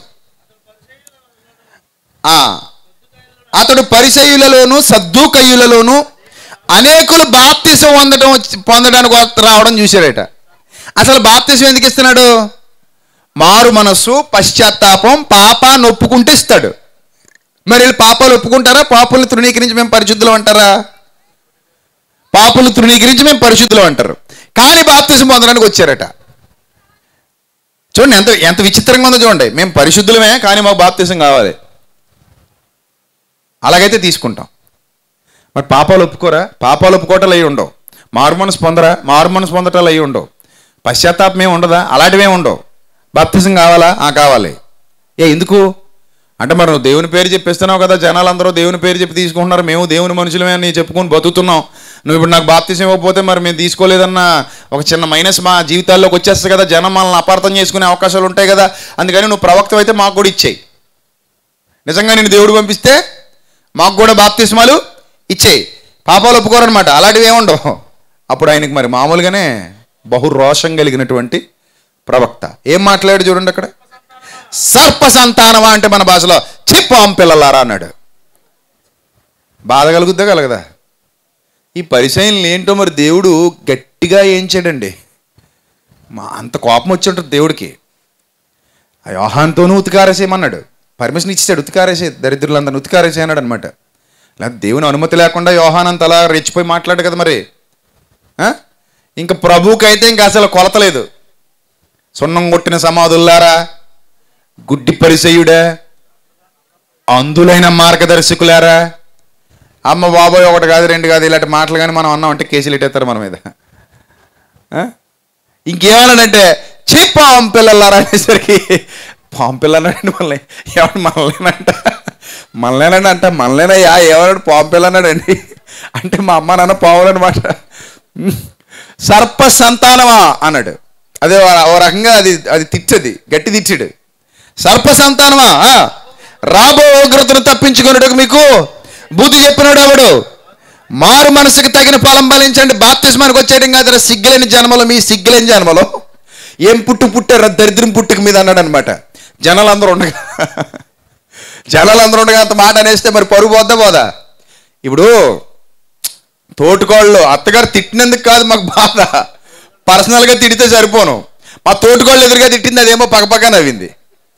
ఇప్పుడు నాకు కాలుతుంది ఎక్కడంటే అత్తగారన్న అడ్డమైన మాటలకి కాలట్లా. మరి దేనికి కాలుతుంది? అందట్ లోపలుండి. అది దానికి ఇంకా లోపల నుంచి ఇంకా బీపీ రేజ్ అయిపోతుందట. అలా వీళ్ళకి కూడా ఎవరో దరిద్రులారా మీ పుట్టుకో మీ పుట్టుకో పుట్టుకేనట్రా పాము పిల్లలారా అనేసరికి జనాలు అందరిలో అనేసరికి వీళ్ళకి ఏమనిపించింది? ఆ ఇజ్జత్ దెబ్బతినిపోయింది ఇప్పుడు యోహాన్ని కూడా చంపేయాలనుకుంటున్నారు వీళ్ళు. ఆయన ఆయన బోధ చాలా దారుణం అండి బాబు. చాలా కష్టం చాలా కఠినంగా మాట్లాడతాడు ఆయన కఠినంగా. ఎంత కఠినం అంటే అంత కఠినం. అందుకే సర్ప సంతానమా? రాబో ఉగ్రతను తప్పించుకున్నట్టుగా మీకు బుద్ధి చెప్పినోడు ఎవడు? అసలు మీరు ఎనిమిదో నుంచి చూడండి. అబ్రహాం మాకు తండ్రిని మీలో మీరు చెప్పుకొని తలంచవద్దు. ఏ ఏటి మీ అబ్రహాం మీ తండ్రి? ఏంటి అబ్రహాం మీ తండ్రా? మీరు అబ్రహాం పిల్ల పాం పిల్లయి మీరు? మీరు అబ్రహాం పిల్లడు పాం పిల్ల మీరు? అని మళ్ళీ ఏమంటున్నాడు? దేవుడు అవసరం అనుకుంటే మీరు పెద్ద ఉద్ధరించేసి ఓడబొడి చేయలేదు కానీ దేవుడు తలుచుకుంటే ఈ రాళ్ళ వలన కూడా అబ్రహాముకి పిల్లల్ని పుట్టించగలడు కానీ ఇంకెప్పుడు ఆ సోది కబుర్లు చెప్పుకుంటూ రాకండే పొండతలుగా అన్నాడు. ఇంకా అంతంత మాటలు వచ్చి అంత అలా అనిపించుకుని వెళ్ళినోడికి ఎలా ఉంటుంది? మంచోడికైతే బుద్ధి వస్తుంది. ఇప్పుడు ఎవరినైనా గద్దించినప్పుడట జ్ఞాని గద్దింపుకు లోబడతాడట. జ్ఞాని అయిన వాడు గద్దింపుకి ఏమవుతాడట? లోబడి ఇంకా సరిదిద్దుకుంటాడు పోన్లే. నీతిమంతుడు నన్ను సరిదిద్దుట నాకు ఆశీర్వాదకరం నీతిమంతుడు నన్ను కొట్టుట? నాకు తైలాభిషేకం నన్ను తిట్టినా పర్లేదు. ఆయన బోధకుడు నన్ను ఆ మంచి కోసమే కదా తిడుతున్నాడు. సేవకుడు నా మంచి కోసమే కదా తిడుతున్నాడు. ఇప్పుడు పొడిచాడు ఇంజక్షన్ అంటే ఎవరి కోసం పొడిచాడు? నీ మీద కోపంతో పొడిచాడా? ఇది ఎంత దుర్మార్గుడు చూడండి సూత్తో పొడి చేసాడండి అన్నావు అనుకో. ఎలా ఉంటుంది అప్పుడు? సూత్తో పొడి చేసినాడు దుర్మార్గుడా? ఎందుకు పొడిచాడు సూత్తో? నీ మీద? ప్రేమతో. ఏమండి కత్తితో కడుపు కోస్తాడండి అని పోలీస్ స్టేషన్కి వెళ్ళి కేసెడతావా ఏమన్నా నాకు ఇరవై నాలుగు గంటల నొప్పి వచ్చిందని వెళ్ళానండి. ఆ వెళ్తే కోసేస్తాడండి కడుపు? కోసి కోసి కుట్లేస్తాడండి. అంటే డా పోలీసుడు ఏమంటాడు? చట్టం ఏమంటుంది? ఒరే పనికిమాలనోడా ఆయన చేసింది మంచి పనిరా నేను బతికించాడు. ఈ నొప్పి కంటే ఆ నొప్పి ఎక్కువ అవుతుంది నువ్వు చచ్చేవాడివిరా. కాబట్టి కడుపు కోసాడురా. కడుపు కోయడం మంచిదిరా. ఆ ఉద్దేశం గ్రహించు ఎందుకు కోసాడో గ్రహించు. నిన్ను చంపాలని కోయిలా? ఎందుకు కోసాడు బతికించాలని కోశాడు రా వైద్యుడు రా అంటారు. అంత డిఫరెన్స్ ఉంది దానికి. చాలా డిఫరెన్స్ ఉంది. సో వీళ్ళు ఎప్పుడైతే బాప్తిస్మ్ ఇచ్చి యోహాన్ గారి కడిగి అవతల పడేశారో ఇంకా మొత్తానికి బాప్తిస్మే వద్దని నిరాకరించేశారట. అదే రాయబడింది దేవుని సంకల్పాన్ని ఏం చేశారు వాళ్ళు?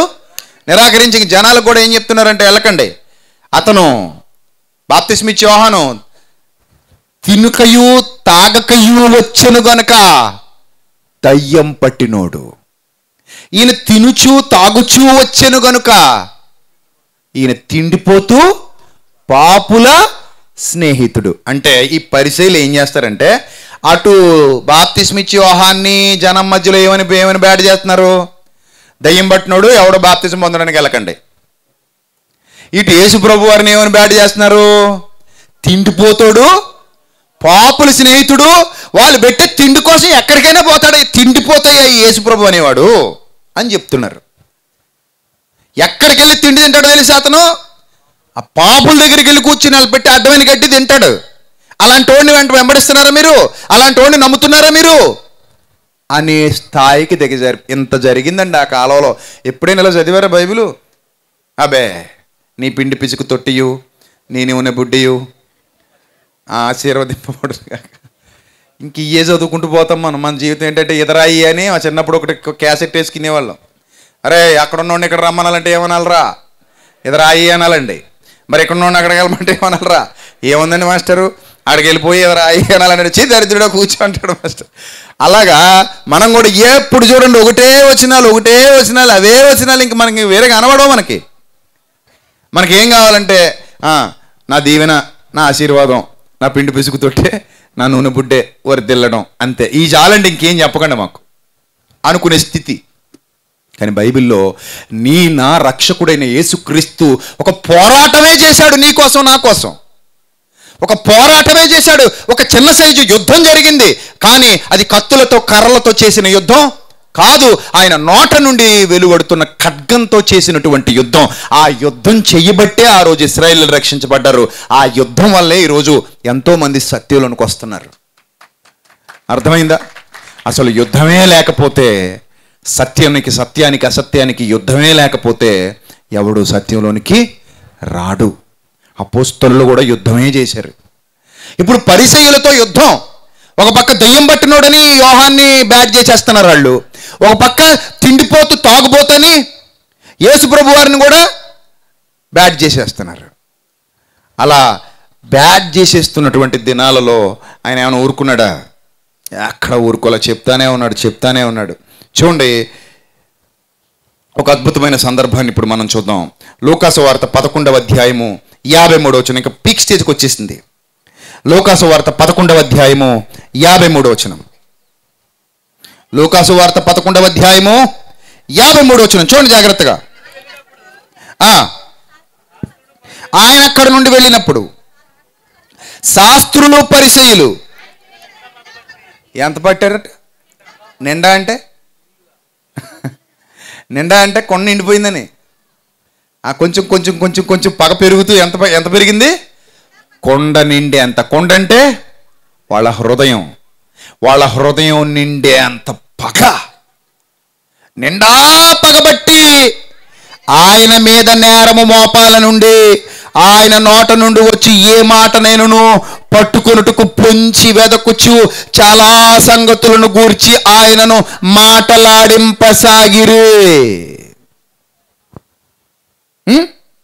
అన్ని దారులు వెతికేశారు. ఏ దారిలో దొరకలా?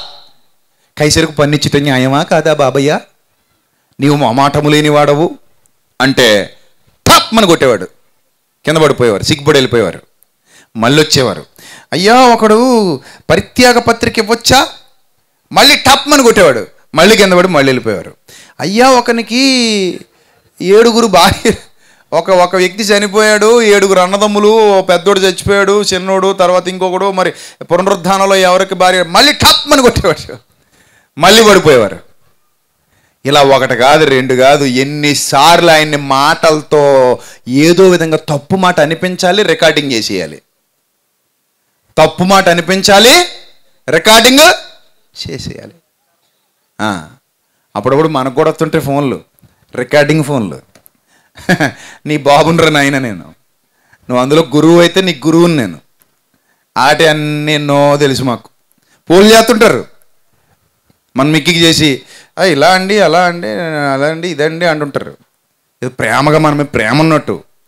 ఏదో విధంగా మనల్ని మనల్ని ఏదో వక్రీకరించాలన్నట్టు. ఇంచు ఇంతకు ముందు అయితే ఆడపిల్లలతో కూడా కాల్ చేపించారు. నేను అమ్మ అమ్మ అంటుంటే ఒక అమ్మాయి అంటుంది నాకు ఫోన్ చేసి నేను మీకంటే చిన్నదాన్ని అండి నన్ను అమ్మ అనకండి అంటుంది. ఆహా మరి ఏమనాలి నిన్ను అమ్మమ్మ అనాలా? నువ్వు చిన్నదానివైతే ఏమనాలి నేను? నాకు అలవాటు అమ్మ తల్లి అనడం నాకు అలవాటు. ఎవరితోనైనా అలాగే మాడతా. మా చెల్లినైనా అలాగే మాడతా. మరి అలాంటి వాడు అమ్మ నన్ను అమ్మనకండి మరి ఏమనాలి? పో- పెడే ఫోన్ అన్నాను అంతే ఇంకా.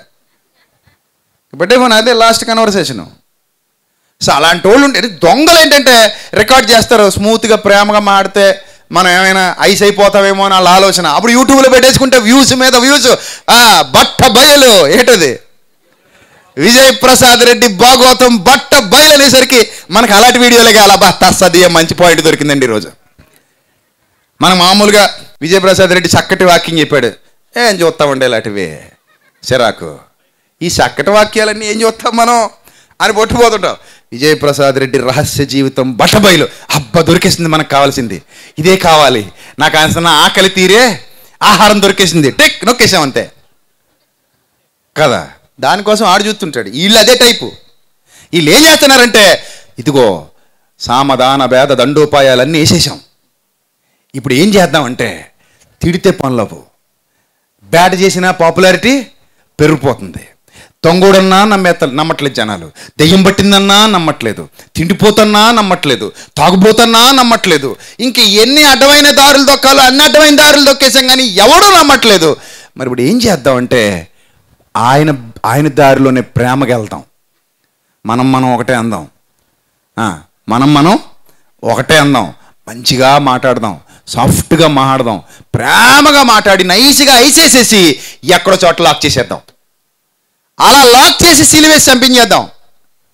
ఇంక తప్ప వేరే దారి లేదు. మన వల్ల అవదు పని. ఎందుకంటే అనేక మంది జన సమూహములు మన వాళ్ళే. ఆయన ఏం చేస్తున్నారు?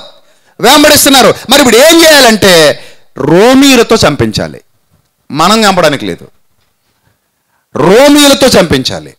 అంటే అన్యులతో మన సాటి జాతి యూదుడిని ఏం చేయాలి? చంపించాలి. అది వాళ్ళ ప్లాన్. ఆ ప్లాన్లో భాగంగా ఒక సంఘటన జరిగింది. ఆ సంఘటన ఏంటంటే ఎప్పుడూ లేనిది పరిసేయుడు ఆయన్ని భోజనానికి పిలిచాడు. అసలు మీరు ఒకటి ఆలోచించండి. పరిసయ్యుడికి ప్రభు అంటే ఇష్టమా పగ? పరిసయులు మొత్తం ఆయన మీద నిండా ఏం పట్టారు? నిండా పగబట్టినోడు భోజనానికి ఎందుకు పిలుస్తాడు? ఏం లేదు.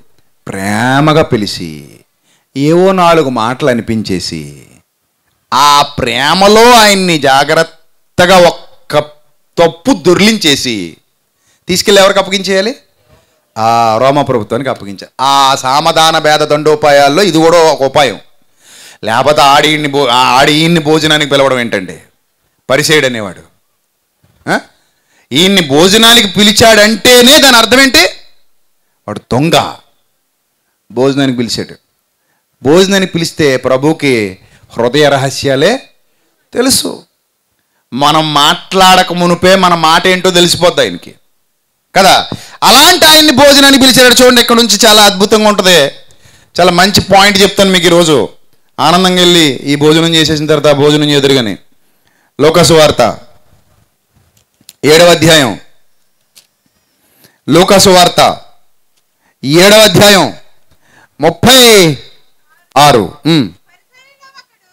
ఒకసారి ఒకసారి పై మాట చదువుదాం. ముప్పై వచ్చిన చదువుదాం ఒకసారి. ముప్పై వచ్చిన చదువుదాం ఒకసారి. ఏడు ముప్పై చదువుదాం. ఇందాక చదివాం కదా మళ్ళీ చదువుదాం. పరిసయులు సుంకరులు ధర్మశాస్త్ర అతని చేత బాప్తిసం పొందక తమ విషయమైన దేవుని సంకల్పాన్ని ఏం చేశారు? నిరాకరించారు. ముప్పై మూడు చదువుదాం. బాప్తిస్మిచ్చి యోహాను రొట్టె తినకయు ద్రాక్ష రసము తాగకయు వచ్చను కనుక వీడు దయ్యం పట్టినోడు అన్నారు. మనుష్య కుమారుడు తినుచు తాగుచు వచ్చాను కనుక ఆ, ఇదిగో తీడు తిండిపోతూ మద్యపాని సొంకర్లకు పాపులకు స్నేహితుడు అన్నారు.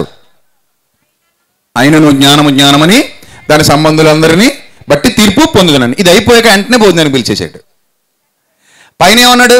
ఏమంటున్నారు వీళ్ళందరూ? పరిచయాలు అంటే ఒకటి బ్యాచ్ అది. బ్యాచ్.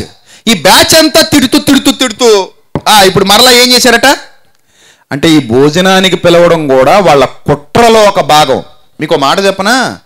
ఆ రోజుల్లో స్లో పాయిజన్ అనేది లేదు కానీ ఉంటే ఇచ్చేద్దరు ఇల్లు. అన్నంలో కలిపి పెట్టేద్దరు.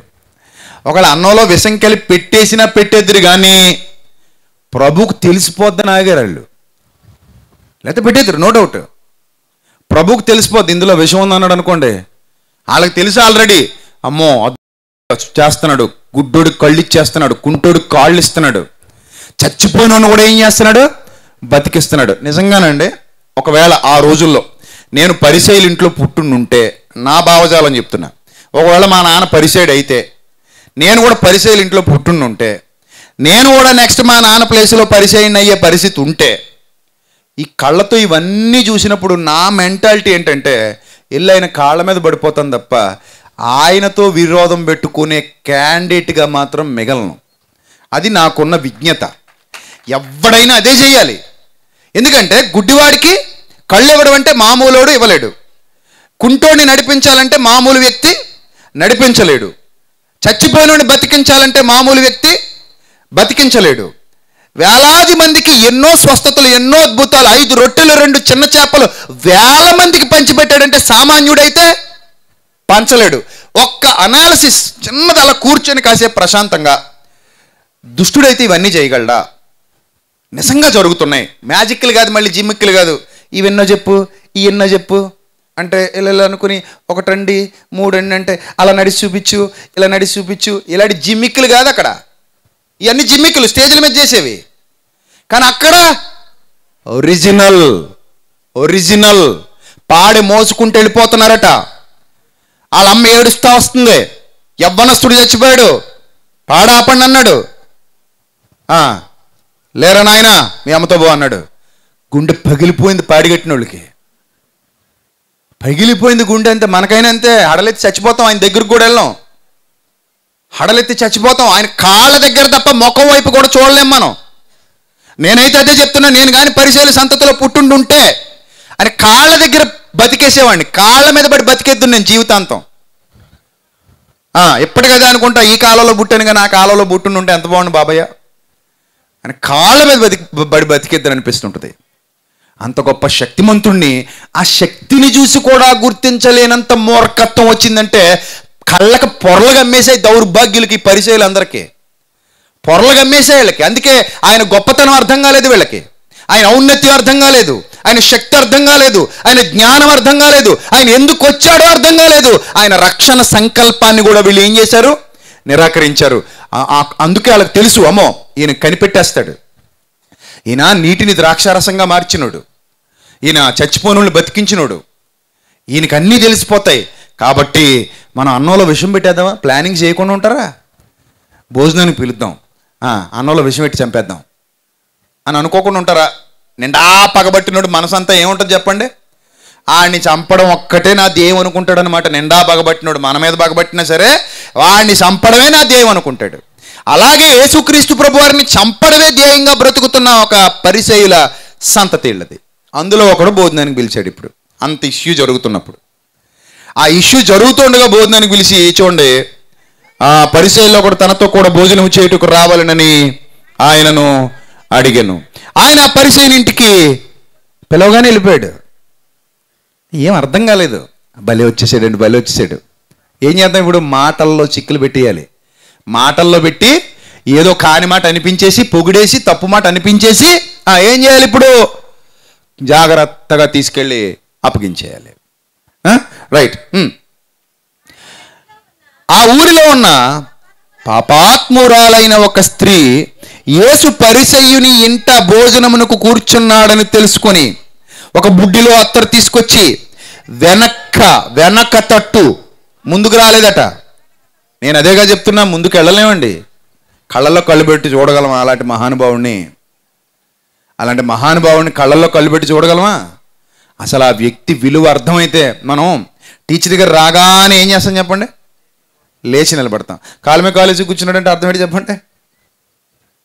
టీచర్ గారు వచ్చినా కాలు మీద కాలేసి కూర్చున్నటువంటి స్టూడెంట్ అర్థం ఏంటి వీడికి అసలు టీచర్ అంటే విలువ లేదు టీచర్ చెప్పే బోధన విలువ లేదు. కదా? కానీ యేసుక్రీస్తు ప్రభు వారిని చూడ్డానికి కూడా భయపడిపోయి ఎక్కడికి వెళ్ళిందట? వెనక్కి వెళ్ళిందట. వెనక్కి వెళ్ళి ఆ, వెనక తట్టు ఆయన పాదాల యొద్ద నిలబడి ఏడ్చేస్తుందట. ఏడ్చేస్తుందట. దొంగ ఏడుపా నిజం ఏడుపా? ఎవరు నువ్వు? నిజం ఏడుపది. ఏడుస్తోంది. హృదయంలో నుంచి వచ్చే ఏడుపు. ఆ ఏడుస్తూ కన్నేళ్ళతో ఆయన పాదములు తడిపి తన తల వెంట్రుకలతో తుడిచిందట బాబా ఏం అసలు కన్నీళ్ళు పాదాలు తడిపేంత కన్నీళ్ళు రావాలంటే పాదాలు కడగడానికి ఎన్ని నీళ్ళు పడతాయి తెలుసా? తక్కువ అంటే లీటర్ నీళ్ళు పడతాయి. లీటర్ నీళ్ళు పడతాయి. రెండు పాదాలు తడవాలంటే లీటర్ నీళ్ళు పడతాయి. అప్పుడప్పుడు చూడండి పొడి లేకుండా కడుక్కోమంటారు. మధ్యలో ఏమి ఉండకూడదట? పొడి ఉండకూడదట. అలా కడుక్కోండి అంటారు. మనం రెండు డొక్కులు నీళ్ళు వేసేసుకుంటాం కాళ్ళ మీద. రెండు డొక్కులు నీళ్ళు వేసుకుంటే తప్ప కాళ్ళు శుభ్రం కావు. అలాంటిది ఆయన కాళ్ళు మొత్తం శుభ్రంగా కడిగేసిందట వేటితో కడిగిందట? కన్నీళ్ళతో. ఎక్కడైనా అమ్ముతారండి మనకు లీటర్ కన్నీళ్ళు? ప్రపంచంలో ఎక్కడైనా దొరుకుతాయి? ఒక మంచి మాట చెప్పనా? ప్రపంచంలో అమ్మకానికి నేటికి లేనిదేదైనా ఉంటే అది కన్నీరు మాత్రమే రక్తం కూడా అమ్మేస్తున్నారండి. మానవ శరీరంలోని రక్తాన్ని కూడా అమ్ముతున్నారు. కానీ ఇప్పటికీ అమ్మ బడనిది అంటూ ఏదైనా ఉందంటే అది కన్నీరు. ఎందుకంటే అది ఎవరికి అవసరం లేదు అందరికి వస్తుంది. నొప్పి కలిగినప్పుడు వస్తుంది. పశ్చాత్తాపం పుట్టినప్పుడు వస్తుంది. బాధ కలిగినప్పుడు వస్తుంది. వేదన కలిగినప్పుడు వస్తుంది. ఆ నిజమైన పశ్చాత్తాపంలో నిజమైన వేదనలో ఏం చెయ్యాలో అర్థం కాలేదు ఆవిడికి. ఏం చెయ్యాలో అర్థం కాక ప్రభు దగ్గరికి వెళ్ళిపోయింది. ఆయన మాటలు వింది పొడవబడింది. తన బ్రతుకేంటో తనకు అర్థమైంది. ఎంత ప్రేమ చూపిస్తున్నాడో అర్థమైంది. అమ్మా అని పిలిచేవాడండి వేష్యలను కూడా. అమ్మా అనేవాడు. ఆ ప్రేమకు ఫిదా అయిపోయింది. ఆ ప్రేమకి లొంగిపోయింది. లొంగిపోయి వెనకరా వెళ్ళి ఆ కన్నీళ్ళు కన్నీళ్ళు కారుతూ ఉన్నాయి కారుతూ ఉన్నాయి కారుతూ ఉన్నాయి. పాదాలు తడుస్తూ ఉన్నాయి. కడుగుతా ఉంది. బోర్ని ఏడుస్తూ కాళ్ళు కడుగుతానే ఉంది కడుగుతానే ఉంది. లోపల నుంచి కన్నీళ్ళు కూడా ఎన్ని ఎన్ని రా అన్ని కన్నీళ్ళు రావాలంటే ఎంత వేదన ఉండాలనుకుంటున్నారు లోపల? మీకు విషయం తెలుసా? ఏడవగా ఏడవగా ఏడవగా కన్నీళ్ళు ఏమైపోతాయి? ఇంకిపోతాయండి. ఇంకేడవలేము. అప్పుడప్పుడు చచ్చిపోయిన వాళ్ళు ఇంటికి వెళ్తుంటాం. భర్త పోతుంటాడు. యవనంలో ఉండగా భార్య పోతుంటుంది. యవనంలో ఉండగా వాళ్ళ ఏడుపు మనం తట్టుకోలేము. చాలా భయంకరంగా ఏడుస్తారు. సాయంత్రానికి కూడా ఇంకా దుఃఖం వస్తుంటుంది కానీ మూలుగుతా ఏడుస్తుంటారు చుక్క కన్నీరు రాదు ఇంకా. అప్పుడు చోటు చూసినోడు అనుకుంటాడు ఇది నిజం ఏడుపు కాదనుకుంటాడు. చాలామందికి ఏడుపు అంటే కన్నీరు కనబడితేనే ఏడుపు అనుకుంటారు. మీకు విషయం తెలుసా? ఒకని ముఖములో నవ్వు ఉండవచ్చు కానీ వాని హృదయంలో దుఃఖం ఉండొచ్చు. ఒకడు నవ్వుచుండినను వాని హృదయములో దుఃఖం ఉండొచ్చు పైకి నవ్వుతున్న వాళ్ళందరూ ఆనందంగా ఉన్నారని కాదండి. పైకి నవ్వుతున్న వాళ్ళందరూ సంతోషంగా ఉన్నారని కాదు. లోపల ఎన్నో బాధలు మోస్తూ ఉంటారు లోపల ఎంతో వేదన మోస్తూ ఉంటారు లోపల ఎంతో కన్నీరు మోస్తూ ఉంటారు.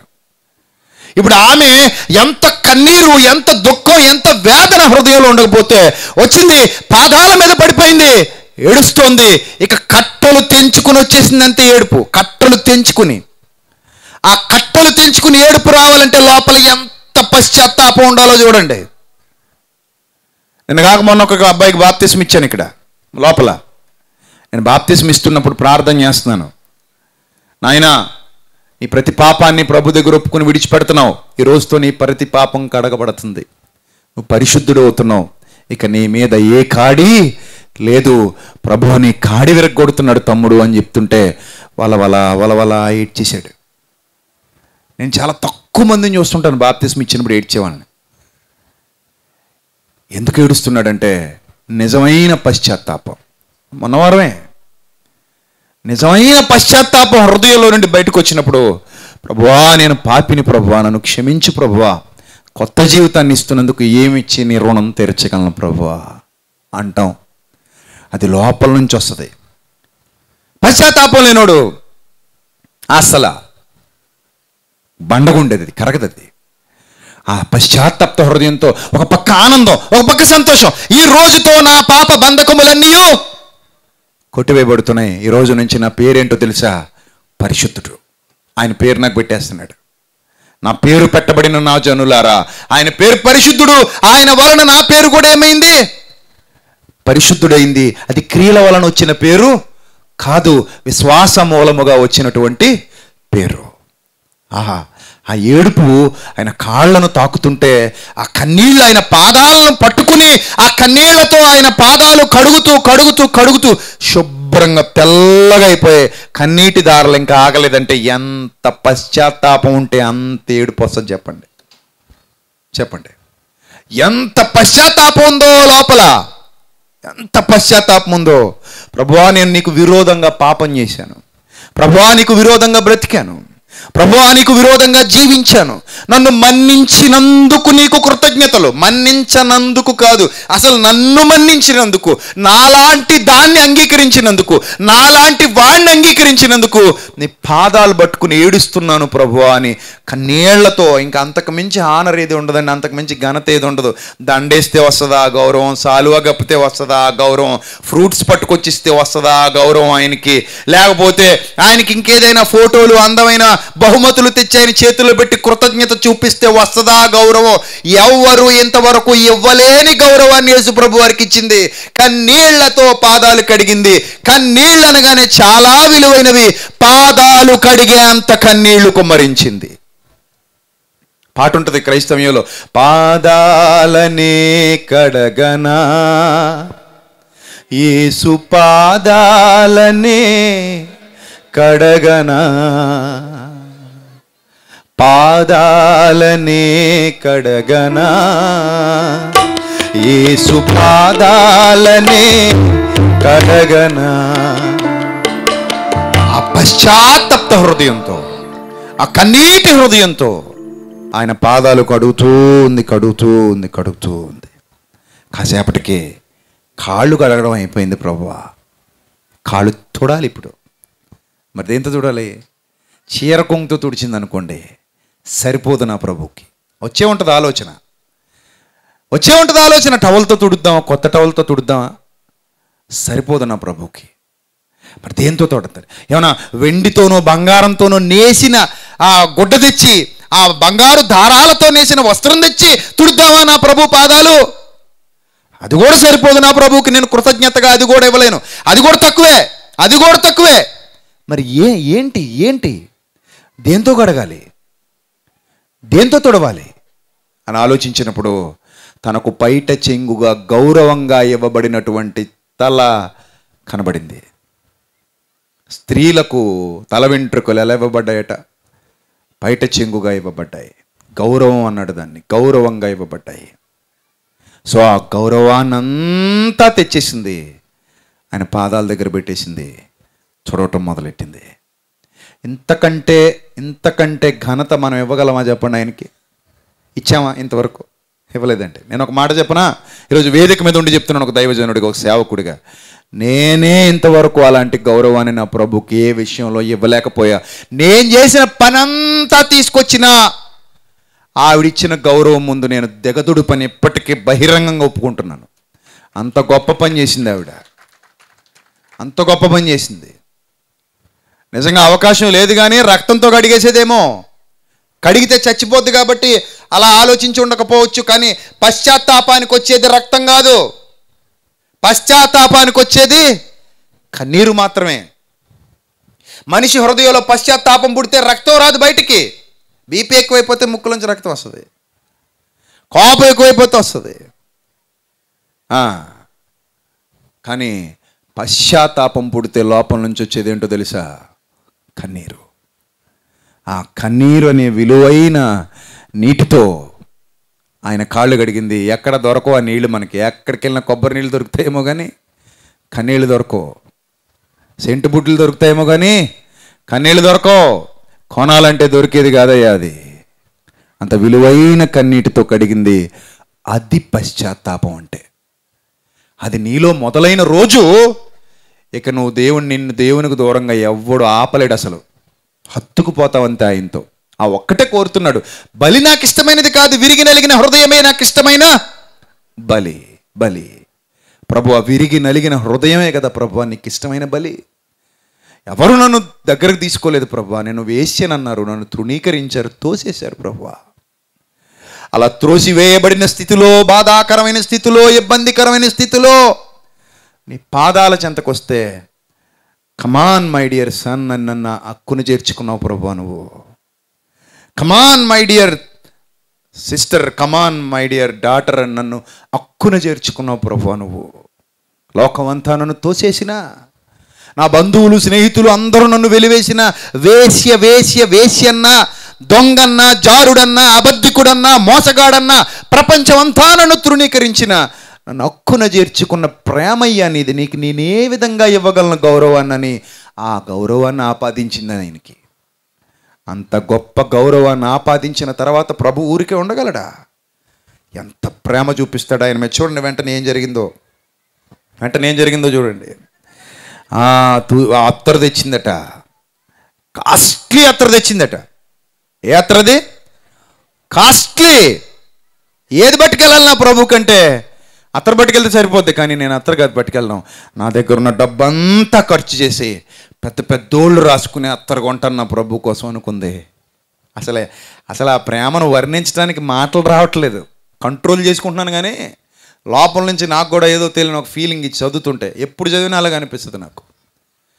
అరే నా ప్రభుకి నేను ఇవ్వాలనుకున్నప్పుడు ఏది ఇవ్వాలి? ఘనమైనది ఇవ్వాలి ఘనహీనమైనది కాదు. పది రూపాయలు సెంటు పట్టుకెళ్ళి పడైతే సరిపోతుంది కదా అనుకోలేదు ఆవిడ? నేను ఇచ్చేది నా ప్రభుకి కదా. ఆయన కాళ్ళ మీద పోయిపోతున్నాను కదా. మరి ఏది పట్టుకెళ్తే బాగుంటుంది అనుకుంది? పెద్ద పెద్దోళ్ళు వాడేది పట్టుకెళ్తాను అనుకుంది. డబ్బులు అప్పు చేసిందో తెలీదు ఉన్నవేమైనా అమ్ముకున్నదో తెలీదు తన దగ్గర ఉన్నవే తెచ్చిందో లేకపోతే ఎక్కడి నుంచి తెచ్చిందో అది ఎలా పట్టుకొచ్చిందో తెలియదు కానీ అంత విలువైన అత్తరు తెచ్చిందట పోసేసింది. అప్పుడు చూడండి ఏం జరిగిందో. అందుకు యేసు అప్పుడు అప్పుడు అప్పుడు చూడండి ఈ ఈ కుళ్ళు కుళ్ళోడు ఉన్నాడు కదా వెనకాల. ఈ పరిసేయడని కుళ్ళోడు భోజనానికి పిలిచిన దొంగ. వీడు అంటున్నాడు అది చూచి అది చూచి ఆయన పిలిచిన ఆయనను పిలిచిన పరిసేయుడు అది చూచి ఈయన ప్రవక్త అయిన ఎడలా తన్ను ముట్టుకొనిన ఈ స్త్రీ ఎవతయో ఎటువంటిదో ఎరిగి ఉండును.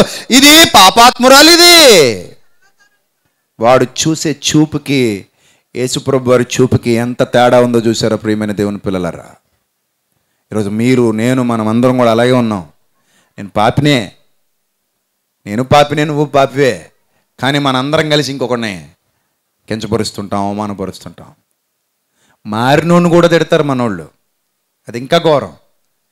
ఎప్పుడో మారిపోయినోడు కూడా ఆడు పది ఏళ్ళ కిందట ఇలా అండి ఇరవై ఏళ్ళ కిందట అలా అండి వంద ఏళ్ళ కిందట ఇలా అండి అంటాడు ఆ?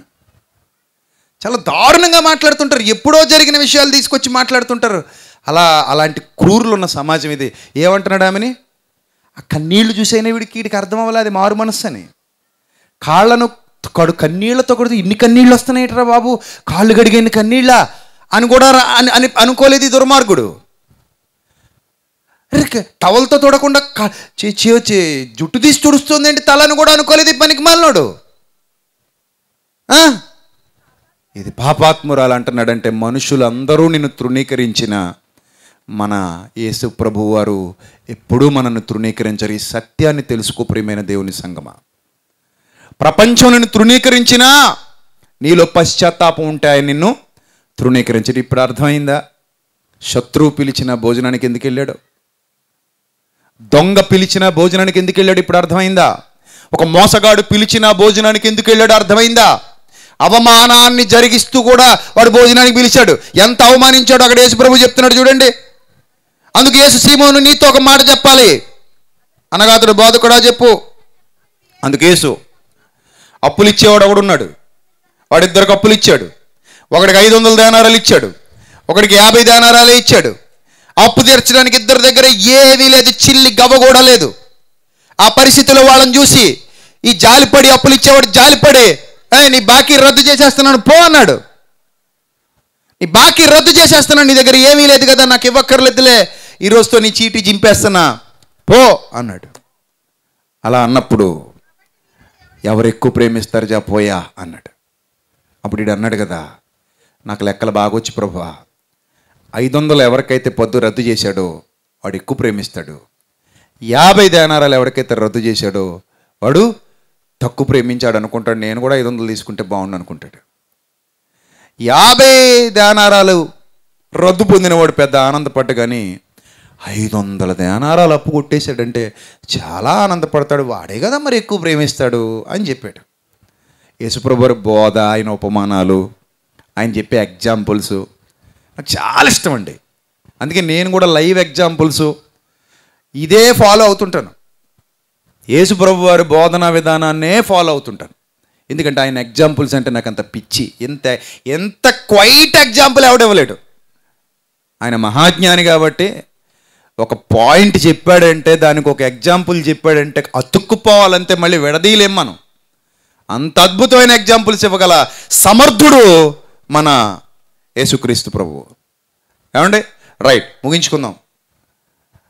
అప్పుడు వీరిలో ఎవడతన్ని ఎక్కువగా ప్రేమించినో చెప్పమని అడిగినందుకు సీమోన్ అతడికి అతడు ఎవనికి ఎక్కువ క్షమించెనో వాడే అని నాకు తోచుచున్నదని చెప్పగా ఆయన నీవు సరిగా యోచించితివని చెప్పి అప్పుడు అన్నాడట ఆ స్త్రీ వైపు తిరిగాడట అప్పుడు తిరిగాడట వెనక్కి తిరిగాడట.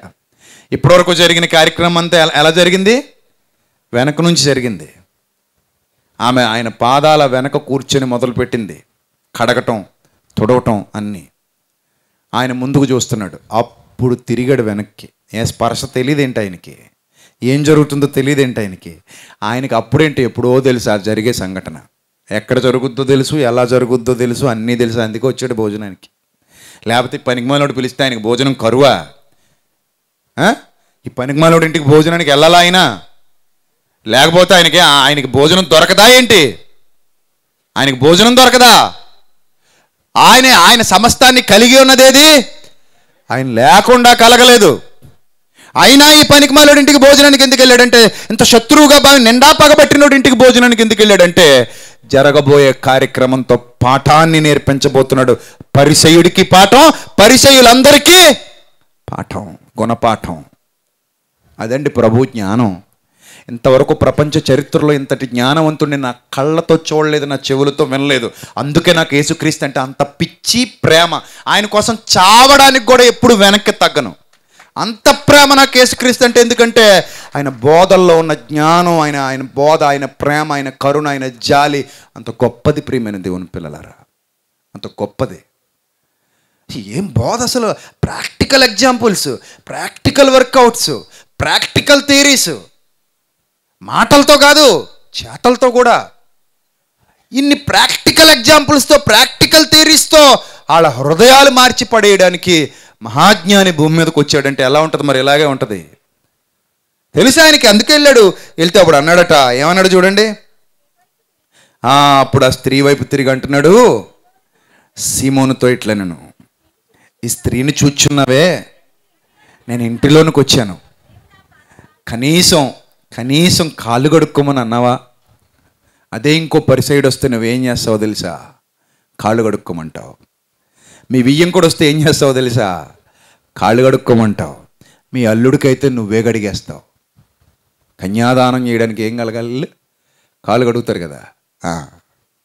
పెద్దోడు వస్తే కాలు కడుక్కోండి సార్ అని చెంబుతో నీళ్ళు పట్టుకెళ్ళిచ్చి అవసరమైతే కాళ్ళ మీద పోసి నువ్వే కడిగేస్తావు.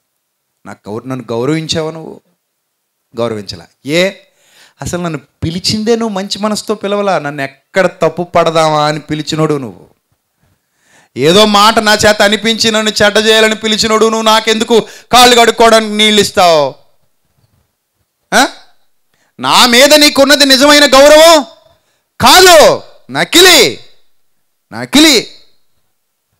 నెక్స్ట్! కానీ ఈ అమ్మాయి ఏం చేసిందో తెలుసా? ఈ స్త్రీ ఏం చేసిందో తెలుసా? తన తన కన్నీళ్ళతో నా పాదాలు తడిపింది. తన తల వెంట్రుకలతో నా పాదాలు తుడిచింది. నువ్వు నన్ను ముద్దు పెట్టుకున్నావా? ఆ రోజుల్లో యువత సంప్రదాయంలో ముద్దు పెట్టుకోవడం చేతులకు ముద్దులు పెట్టుకోవడం అనే ఒక సంప్రదాయం ఉండేది. యూరోపియన్ కల్చర్లో అయితే బుగ్గల మీద ముద్దులు పెట్టుకుంటారు. సో అలాంటి కల్చర్స్ ఉన్నాయి. మనం షేక్ హ్యాండ్ ఇచ్చుకుంటాం వందనాలు చెప్పుకుంటాం. ఇవన్నీ కల్చర్స్ ఒక్కొక్క కల్చర్ ఒకలా ఒకలా ఉంటుంది ఒక్కో దేశపు కల్చర్ ఒకలా ఉంటుంది. ఈ యోధ కల్చర్లో ఈ ముద్దు అనేది ఉంది. నువ్వు నన్ను ముద్దు పెట్టుకోనలేదు కానీ ఈమె నా పాదాలు ముద్దు పెట్టుకోవటం ఎప్పటికీ మానలేదు చూసావా? జరిగేది జరుగుతుంది అక్కడ. స్త్రీ వైపు తిరిగి ఇప్పుడు చెప్తున్నాడు. ప్రాక్టికల్ ఎగ్జాంపుల్ అంటారు దీన్ని. ప్రాక్టికల్ థియరీ అంటారు. ఎప్పటికీ ఈమె నా పాదాలు ముద్దు పెట్టుకోవడం మానలేదు. నువ్వు నాకు అసలు ఏనాడైనా గౌరవం ఇచ్చావా? కనీస గౌరవం లేదు నాకు. కనీస గౌరవం లేదు. అయినా నీ ఇంటికి భోజనానికి ఎందుకు వచ్చానో తెలుసా పరిసయుడా నువ్వు నన్ను గౌరవిస్తావని రాలా. నువ్వు పెట్టే ఆ తుచ్చమైన మెతుకుల కోసం రాలా. నువ్వు నువ్వు పెట్టే ఆ తుచ్చమైన రక్తపు కూడు కోసం నీ ఇంటికి వచ్చాను అనుకున్నావా నో! ఇది నా ఆకలి ఇది నా ఆనందం ఇది నా సంతోషం ఇది నా ప్రయత్నం. ఇది నేను భూమి మీదకు రావడంలోని అసలైన పరమార్థం.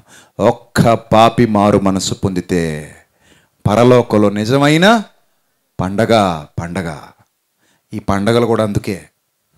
నీ కళ్ళ వెంట కన్నీరు స్రవిస్తున్నప్పుడు నీ హృదయం పగులుతున్నప్పుడు నువ్వు దేవుని చెంతకొస్తున్నప్పుడు నువ్వు ప్రభు కోసం నీ జీవితాన్ని సమర్పిస్తున్నప్పుడు ఈ వాక్యం నిన్ను ప్రభు దగ్గరికి తీసుకొస్తున్నప్పుడు కష్టం అంతా మర్చిపోతారు ఇక్కడ ఉన్న వాళ్ళు. ఇంకా గట్టిగా పనిచేస్తారు ఇంకా ఎక్కువ సెమినార్లు చేస్తారు ఇంకా ఎక్కువ కార్యక్రమాలు చేస్తారు. ఎంత డబ్బు ఖర్చు అయినా లెక్క చేయరు. ఎన్ని వేల మంది అవమానించినా లెక్క చేయరు. ఏదైనా సరే నువ్వు మారితే చాలు. అంతకు మించిన పండగ మా బతుకులకి ఇంకోటి లేదు. నువ్వు మారితే చాలు. నువ్వు ఆలోచిస్తే చాలు. చాలామంది పిల్లలు ఇక్కడ తమ కష్టార్జితాన్ని ఖర్చు చేసిన పిల్లలు ఏమన్నారో తెలుసా? అన్న అయితే అవనివ్వండి అన్న. ఒక్కడు మారితే చాలన్నా అన్నాడు. ఒక్కడు మారితే చాలు. చాలామంది సభలు పెట్టే పిల్లలు ఏమంటారో తెలుసా? అన్న ఎంత డబ్బు అయినా పర్లేదన్నా. ఒక్కడైనా సత్యం తెలుసుకుంటే చాలన్నా అంటాడు. అది క్రైస్తవ ప్రేమ. క్రీస్తు ప్రేమ. ఆ క్రీస్తు ప్రేమ క్రైస్తవ ప్రేమేనయ్యా. ఈరోజు ఇక్కడ నిలబెట్టింది. ఈరోజు ఇంత కార్యక్రమం ఇక్కడ జరగడానికి భారభరితమైన కార్యక్రమం జరగడానికి ప్రభు కృప చూపించి మాలాంటి వాళ్ళని ఎన్నుకొని ఇక్కడ నడిపిస్తున్నాడంటే that is the main reason behind that yes దేవుని ప్రేమ దేవుని అపారమైన ప్రేమ. అపారమైన ప్రేమతోనే వెళ్ళాడు భోజనానికి నా నువ్వు నా నూనెతో నా తల అంటలేదు. కానీ ఈమె నా పాదాలకు అత్తర పూసిందయ్యా. ఇప్పుడు ఈమె ఐదు వందల దేనారాలు అప్పు ఉంటే నేనేం చేయాలి ఇప్పుడు? చెల్లించడానికి ఈమె దగ్గర ఏమీ లేదా కన్నీరు తప్ప ఆ పశ్చాత్తాపం తప్ప. అయ్యా నేను ఏమి ఇవ్వలేనయ్యా అంటే ఏం చేయగలను చెప్పండి? ఆల్రెడీ గతంలో ఒకసారి చెప్పాను ఫైనాన్స్ బిజినెస్ చేసే నేను సడన్గా ఫైనాన్స్ బిజినెస్ మానేసి సేవలోకి అప్పటికే వాక్యం నేర్చుకుంటున్నాను కొంతమందికి చెప్తున్నాను కానీ బిజినెస్ చేసుకుంటూనే చెప్తున్నాను. కానీ నా జీవితంలో జరిగిన ఒక సంఘటన. పశ్చిమ గోదావరి జిల్లాలో ప్రతిరోజు లైన్కి వెళ్ళేవాడిని నేను. లైన్కి వెళ్ళి మా నాన్న మా నాన్న మా అన్నయ్య నాకు పెట్టుబడి పెట్టి చక్కగా హ్యాపీగా వ్యాపారం చేసుకుంటున్నాను. డిగ్ చదువు అయిపోయిన తర్వాత.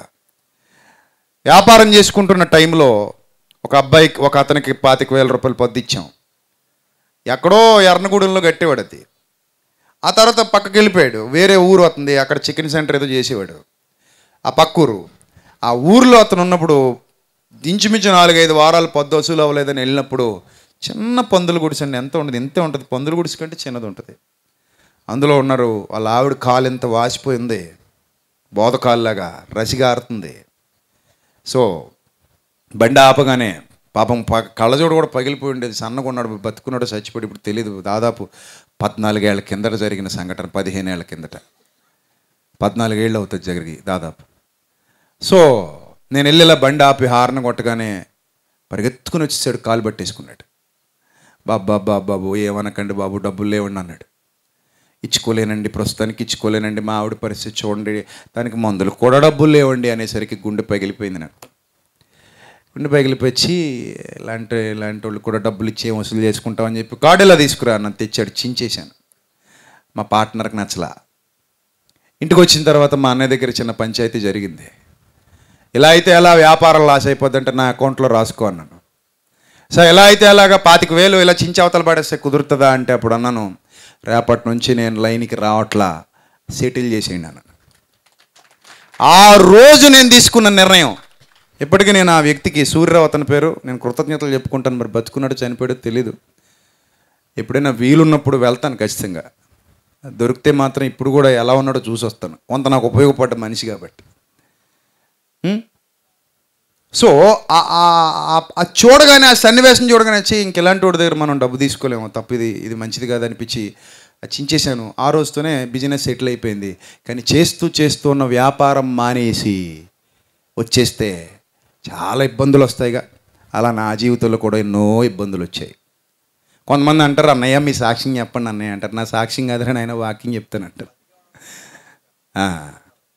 వాక్యం చెప్తాను ఆయన సాక్ష్యం కదా అంటాను నేను. సో చాలా సందర్భాల్లో చాలా విషయాల్లో మనం ఆ కరుణకి జాలికి కట్టుబడినప్పుడు ప్రతి మనిషి దేవునిలో నాలా మారాలి. నిన్ను వలే నీ పొరుగువాడిని ప్రేమించు. ప్రేమించు. ఇక్కడ ఎంత ఖర్చు అయినా వెనక పట్టించుకోలేదు. ప్రతి సంవత్సరం సెమినార్ ఒక యజ్ఞంలో జరుగుతుంది ఇక్కడ కొంతమంది కుర్రాళ్ళు ఉన్నారు పేర్లు చెప్పడానికి ఇష్టపడరు కానీ అప్పుల్లో ఉండి కూడా ఇక్కడ దేవుని పరిచయం చేస్తున్నారండి వాళ్ళు. నిజం నేను చెప్పేది. వాళ్ళు ఒప్పుకుంటే ఇప్పుడే వేదిక మీద తీసుకొచ్చి పరిచయం చేస్తాను ఈ నా తమ్ముడు అని గర్వంగా. ఈ నా అన్నయ్య అని గర్వంగా పరిచయం చేస్తాను. వాళ్ళ పరిస్థితులు బాగోకపోయినా తలకు మించిన ఖర్చులు పెట్టి ఇక్కడ ఒకటా రెండా చూడండి ఎన్ని జరుగుతున్నాయో. చేస్తున్నారంటే కారణం ఏంటో తెలుసా? మీలో ఒక్కడు మారిన వాళ్ళకి సంతోషం. మీలో ఒక్కడు దేవునికి దగ్గరైన వాళ్ళకి ఆనందం. మీలో ఒక్క హృదయాన్ని ప్రభువుకి గెలిచి అప్పగిస్తే చాలు. కప్పు కొట్టి నాన్న ముందుకు తీసుకెళ్తే వచ్చే ఆనందం కంటే ఒక హృదయాన్ని గెలిచి ప్రభు ఇదిగో తీసుకొచ్చాను ప్రభు నీ దగ్గరికంటే దాన్ని మించిన ఆనందం ఏముందో చెప్పండి ప్రపంచంలో. ఒక సేవకుడికి ఒక బాధకుడికి ఒక విశ్వాసకి. అది నిజమైన ఆనందం. అది నిజమైన ఆనందం. ఆ ఆనందం కోసం నా తండ్రి పని చేయుటయే నాకు ఆహారం. నా తండ్రి పని తుతముట్టించుటయే నాకు ఆహారం. ఒక పక్క పరిసైడికి బుద్ధి చెప్పాడు ఒక పక్క ఆమె మనసు గెలిచేశాడు. మనసు గెలిచేశాడు. మనసు గెలిచి ఏమంటున్నాడు? పాపములు క్షమించబడి ఉన్నాయమ్మా. అమ్మా ఇంకెప్పుడు నేను పాపినని చెప్పకో. ఇంకెప్పుడు నీ పాత పాపాలు జ్ఞాపకం చేసుకోకో. ఇంకెప్పుడు నీ గతాన్ని నీ పాపాన్ని గుర్తు చేసుకుని గిల్టీ ఫీలింగ్కి లోనవ్వద్దు. గిల్టీ ఫీలింగ్ వద్దు తీసేయి. ఈ రోజుతో ఈ క్షణంతో రోజుతో కూడా కాదు ఈ క్షణంతో నీ పాపాలన్నీ సర్వోన్నతుడైన దేవుడు తుడిచేశాడు. తుడిచేసింది ఎవరు? సర్వోన్నతుడైన దేవుడు న్యాయాధిపతి వదిలేశాడు నిన్ను. అప్పిచ్చేవాడు వదిలేస్తేనే నాకు అధికారం ఉంది. అప్పు అప్పు రద్దు చేసే అధికారం అప్పిచ్చినడుకున్నప్పుడు సర్వోన్నతుడైన దేవుడు న్యాయాధిపతి న్యాయాధిపతికి కూడా పశ్చాత్తాపం పొందిన వాడికి అప్పు రద్దు చేసే అధికారం ఉంది. ఆ అధికారమే క్రైస్తవ్యం అంటే. అది that is the meaning of real Christianity in this world that is the only meaning of real Christianity not a religion Christianity is not a religion Christianity is a way yes ఇది ఒక మార్గం. ఒక పాపి పరిశుద్ధుడుగా మారే మార్గం. ఒక పాపిని పరిశుద్ధుడుగా మార్చే మార్గం. ఒక పాపిని పవిత్రుడుగా దేవునికి దగ్గర చేసే మార్గం. నీ పాపాలన్నీ క్షమించబడ్డాయమ్మా. ఇక వెళ్ళి పాపం చేయకు నీతిగా బ్రతుకు. నీ విశ్వాసము నిన్ను రక్షించింది. సమాధానము గణదానవై వెళ్ళు. ఎలా వెళ్ళాలి ఇప్పుడు? సమాధానంగా వెళ్ళు. బాప్తిస్మ పొందిన మీ అందరికీ చెప్తున్నా. నేను పాపిని నేను పాపిన అని అనకండి. ప్రభా నేను పాపిని పాపిని అనకండి. నువ్వు పాపివి కాదు. బాప్తిస్మ పొందాక నిజమైన మారు మనసుతో నిజమైన పశ్చాత్తాపంతో నిజమైన పగిలిన హృదయంతో ఒకవేళ నువ్వు మారు మనసు పొందితే you are not a sinner you are a holy man in God నువ్వు దేవుని ఎదుట నువ్వు దేవుని సన్నిధిలో పరిశుద్ధుడు అని నీకు పేరు పెట్టాడు. పరిశుద్ధురాలు అని నీకు పేరు పెట్టాడు. ఇక నేను పాపిని పాపిని పాపిని అని చెప్పకో. పరిశుద్ధుడు పరిశుద్ధురాలు అంతే. నీ ప్రతి పాపము ఏమైంది? క్షమించబడింది. ఇక నువ్వు సమాధానము గలదానమైపో. గతం గతం. అయిపోయింది వదిలేయి. దాన్ని అసలు జ్ఞప్తికి కూడా తెచ్చుకోకు. ఎవడైనా ఒకవేళ జ్ఞప్తికి తెచ్చినా పట్టించుకోకు. నీ వర్తమానం గురించి ఎవడు మాట్లాడు ఎప్పుడైనా మాట్లాడతారు దేని గురించి మాడుతుంటారు? గతాల గురించి మాడతారు. వదిలేయ్! అయిపోయింది అది. ఒకప్పుడు నువ్వు వేసావు కదా ఒకప్పుడు నువ్వు వ్యభిచారివి కదా ఒకప్పుడు నువ్వు దొంగవు కదా ఒకప్పుడు నువ్వు నరహంతకుడు కదా నువ్వు అలా చేయలేదా ఇలా చేయలేదా ఆమెను ఎవడైనా ఏమైనా అన్నాడు అనుకోండి ఏమంటది? అది అప్పుడు ఇది? ఇప్పుడు అది ఇప్పుడు నా జీవితంలో లేదు. అది ఇప్పుడు నా జీవితంలో లేదు. I'm a new person I have a new life it's a new journey in front of my lord and saviour అది చెప్పాలి మనం. అది మన సాక్ష్యం కావాలి అది మన బ్రతుకు కావాలి. కాబట్టి ప్రియమైన దేవుని సంగమా మనం ఎప్పుడైతే ఆ పశ్చాత్తప్త హృదయంలోనికి వెళతామో దాన్ని మించిన ఆభరణం ఇంకోటి లేదు దేవుడు నీ దగ్గరకంట వచ్చేస్తాడు నేను అస్సలు వదలడు ఇంకా. నీ దగ్గర వచ్చేస్తాడు హత్తుకుపోద్ది నీ జీవితం ఆయనతో. అప్పుడు నీ లైఫ్ ఎంత బాగుంటుందో తెలుసా? చాలా అద్భుతంగా ఉంటుంది. వీలైతే సాయంత్రం మాడుకుందాం తల్ల వంచండి ప్రార్థన చేసుకుందాం. సకల ఆశీర్వాదములకు కారణభూతుడైన మా తండ్రి సర్వకృపానిధి. అనేకులకు దొరకని విలువైన జ్ఞానాన్ని మీ పిల్లలకు బోధిస్తున్నారు. మీ ఆత్మ సహాయంతో నిజమే ప్రభువా.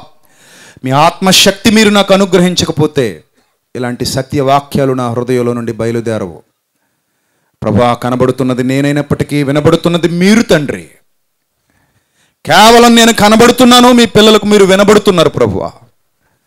నాలో నుండి మీ పిల్లలకు వినబడుతున్నందుకు ఏమిచ్చి మీరు నన్ను తీర్చుకోగలను తండ్రి? మీ బిడ్డలను బలపరచండి. మీ కృపలో భద్రపరచండి. అలాంటి పశ్చాత్తప్త హృదయాలు ఎంతమంది కలిగి ఉన్నారో ఎంతమంది తమ కన్నీటితో మీ కుమారుడైన క్రీస్తు పాదాలు కడగటానికి సిద్ధంగా ఉన్నారు తమ గౌరవాన్ని ఆయన పాదాల దగ్గర పెట్టడానికి ఎంతమంది సిద్ధంగా ఉన్నారు తమ విలువైన వాటిని ఆయన పాదాలకు పూయడానికి ఎంతమంది సిద్ధంగా ఉన్నారు ప్రతి బిడ్డను బలపరచండి మీ కృపలో భద్రపరచండి.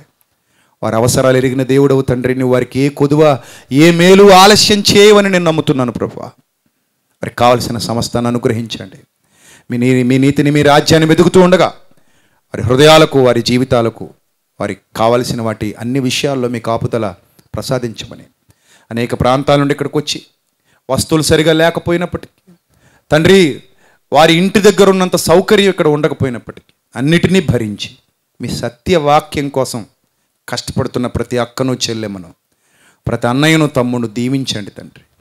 మెండైన ఆశీర్వాదాలు ప్రతి కుటుంబం మీద ఉంచండి. ఎంతమంది పిల్లలైతే తమ కష్టార్జితాన్ని దూరదేశాల్లో ఉండి కూడా ఎండలో మండుతూ కూడా అనేక మంది ఇళ్ళలో పని చేసుకుంటూ కూడా తండ్రి ఇక్కడ ఉన్న వారికి భోజనం పెట్టాలి ఇక్కడ కార్యక్రమం జరగాలని తమ కష్టార్జితాన్ని సమర్పించారు. వారికి రెట్టింపు ప్రతిఫలాన్ని దయచేయండి తండ్రి. ప్రతి కుటుంబాన్ని దీవించండి. మేమందరం మీ సన్నిధిలో నిందారహితులముగా కనబడడానికి ఒకనొక దినాన్ని నిత్య జీవాన్ని మేమందరం స్వతంత్రించుకొని ఈరోజు ఈ ప్రాంగణంలో ఉన్నాం. ఒకరోజు మీ పరలోకంలో మేమందరం ఉండాలి. కలిసి మెలిసి ప్రతిరోజు ఈ ఆనందాన్ని మేము అనుభవించాలి. అలాంటి సంతోషాన్ని మాకు నిత్యము ప్రసాదించమని లైవ్లో వీక్షిస్తున్న బిడ్డల కుటుంబాలను కూడా దీవించి ఆశీర్వదించమని ఎవరైతే వారి యొక్క ప్రార్థన సహకారం కోరుతూ వారి యొక్క కష్టాలు తెలియజేస్తున్నారో వారికి త్వరితగతిన తండ్రి వారి కష్టాల నుండి విడిపించమని. మీ నీతిని మీ రాజ్యాన్ని వెతుకుతూ ఉండగా సమస్తాన్ని దయచేయమని. ఘనత మహిమ ప్రభావములు మీకు చెల్లిస్తూ క్రీస్తు వారి శ్రేష్టమైన నామంలో ఈ ప్రార్థన మనవులడికి వేడుకొనిచున్నాం మా కన్న తండ్రి. Amen. God bless you all. Love you all. Thank you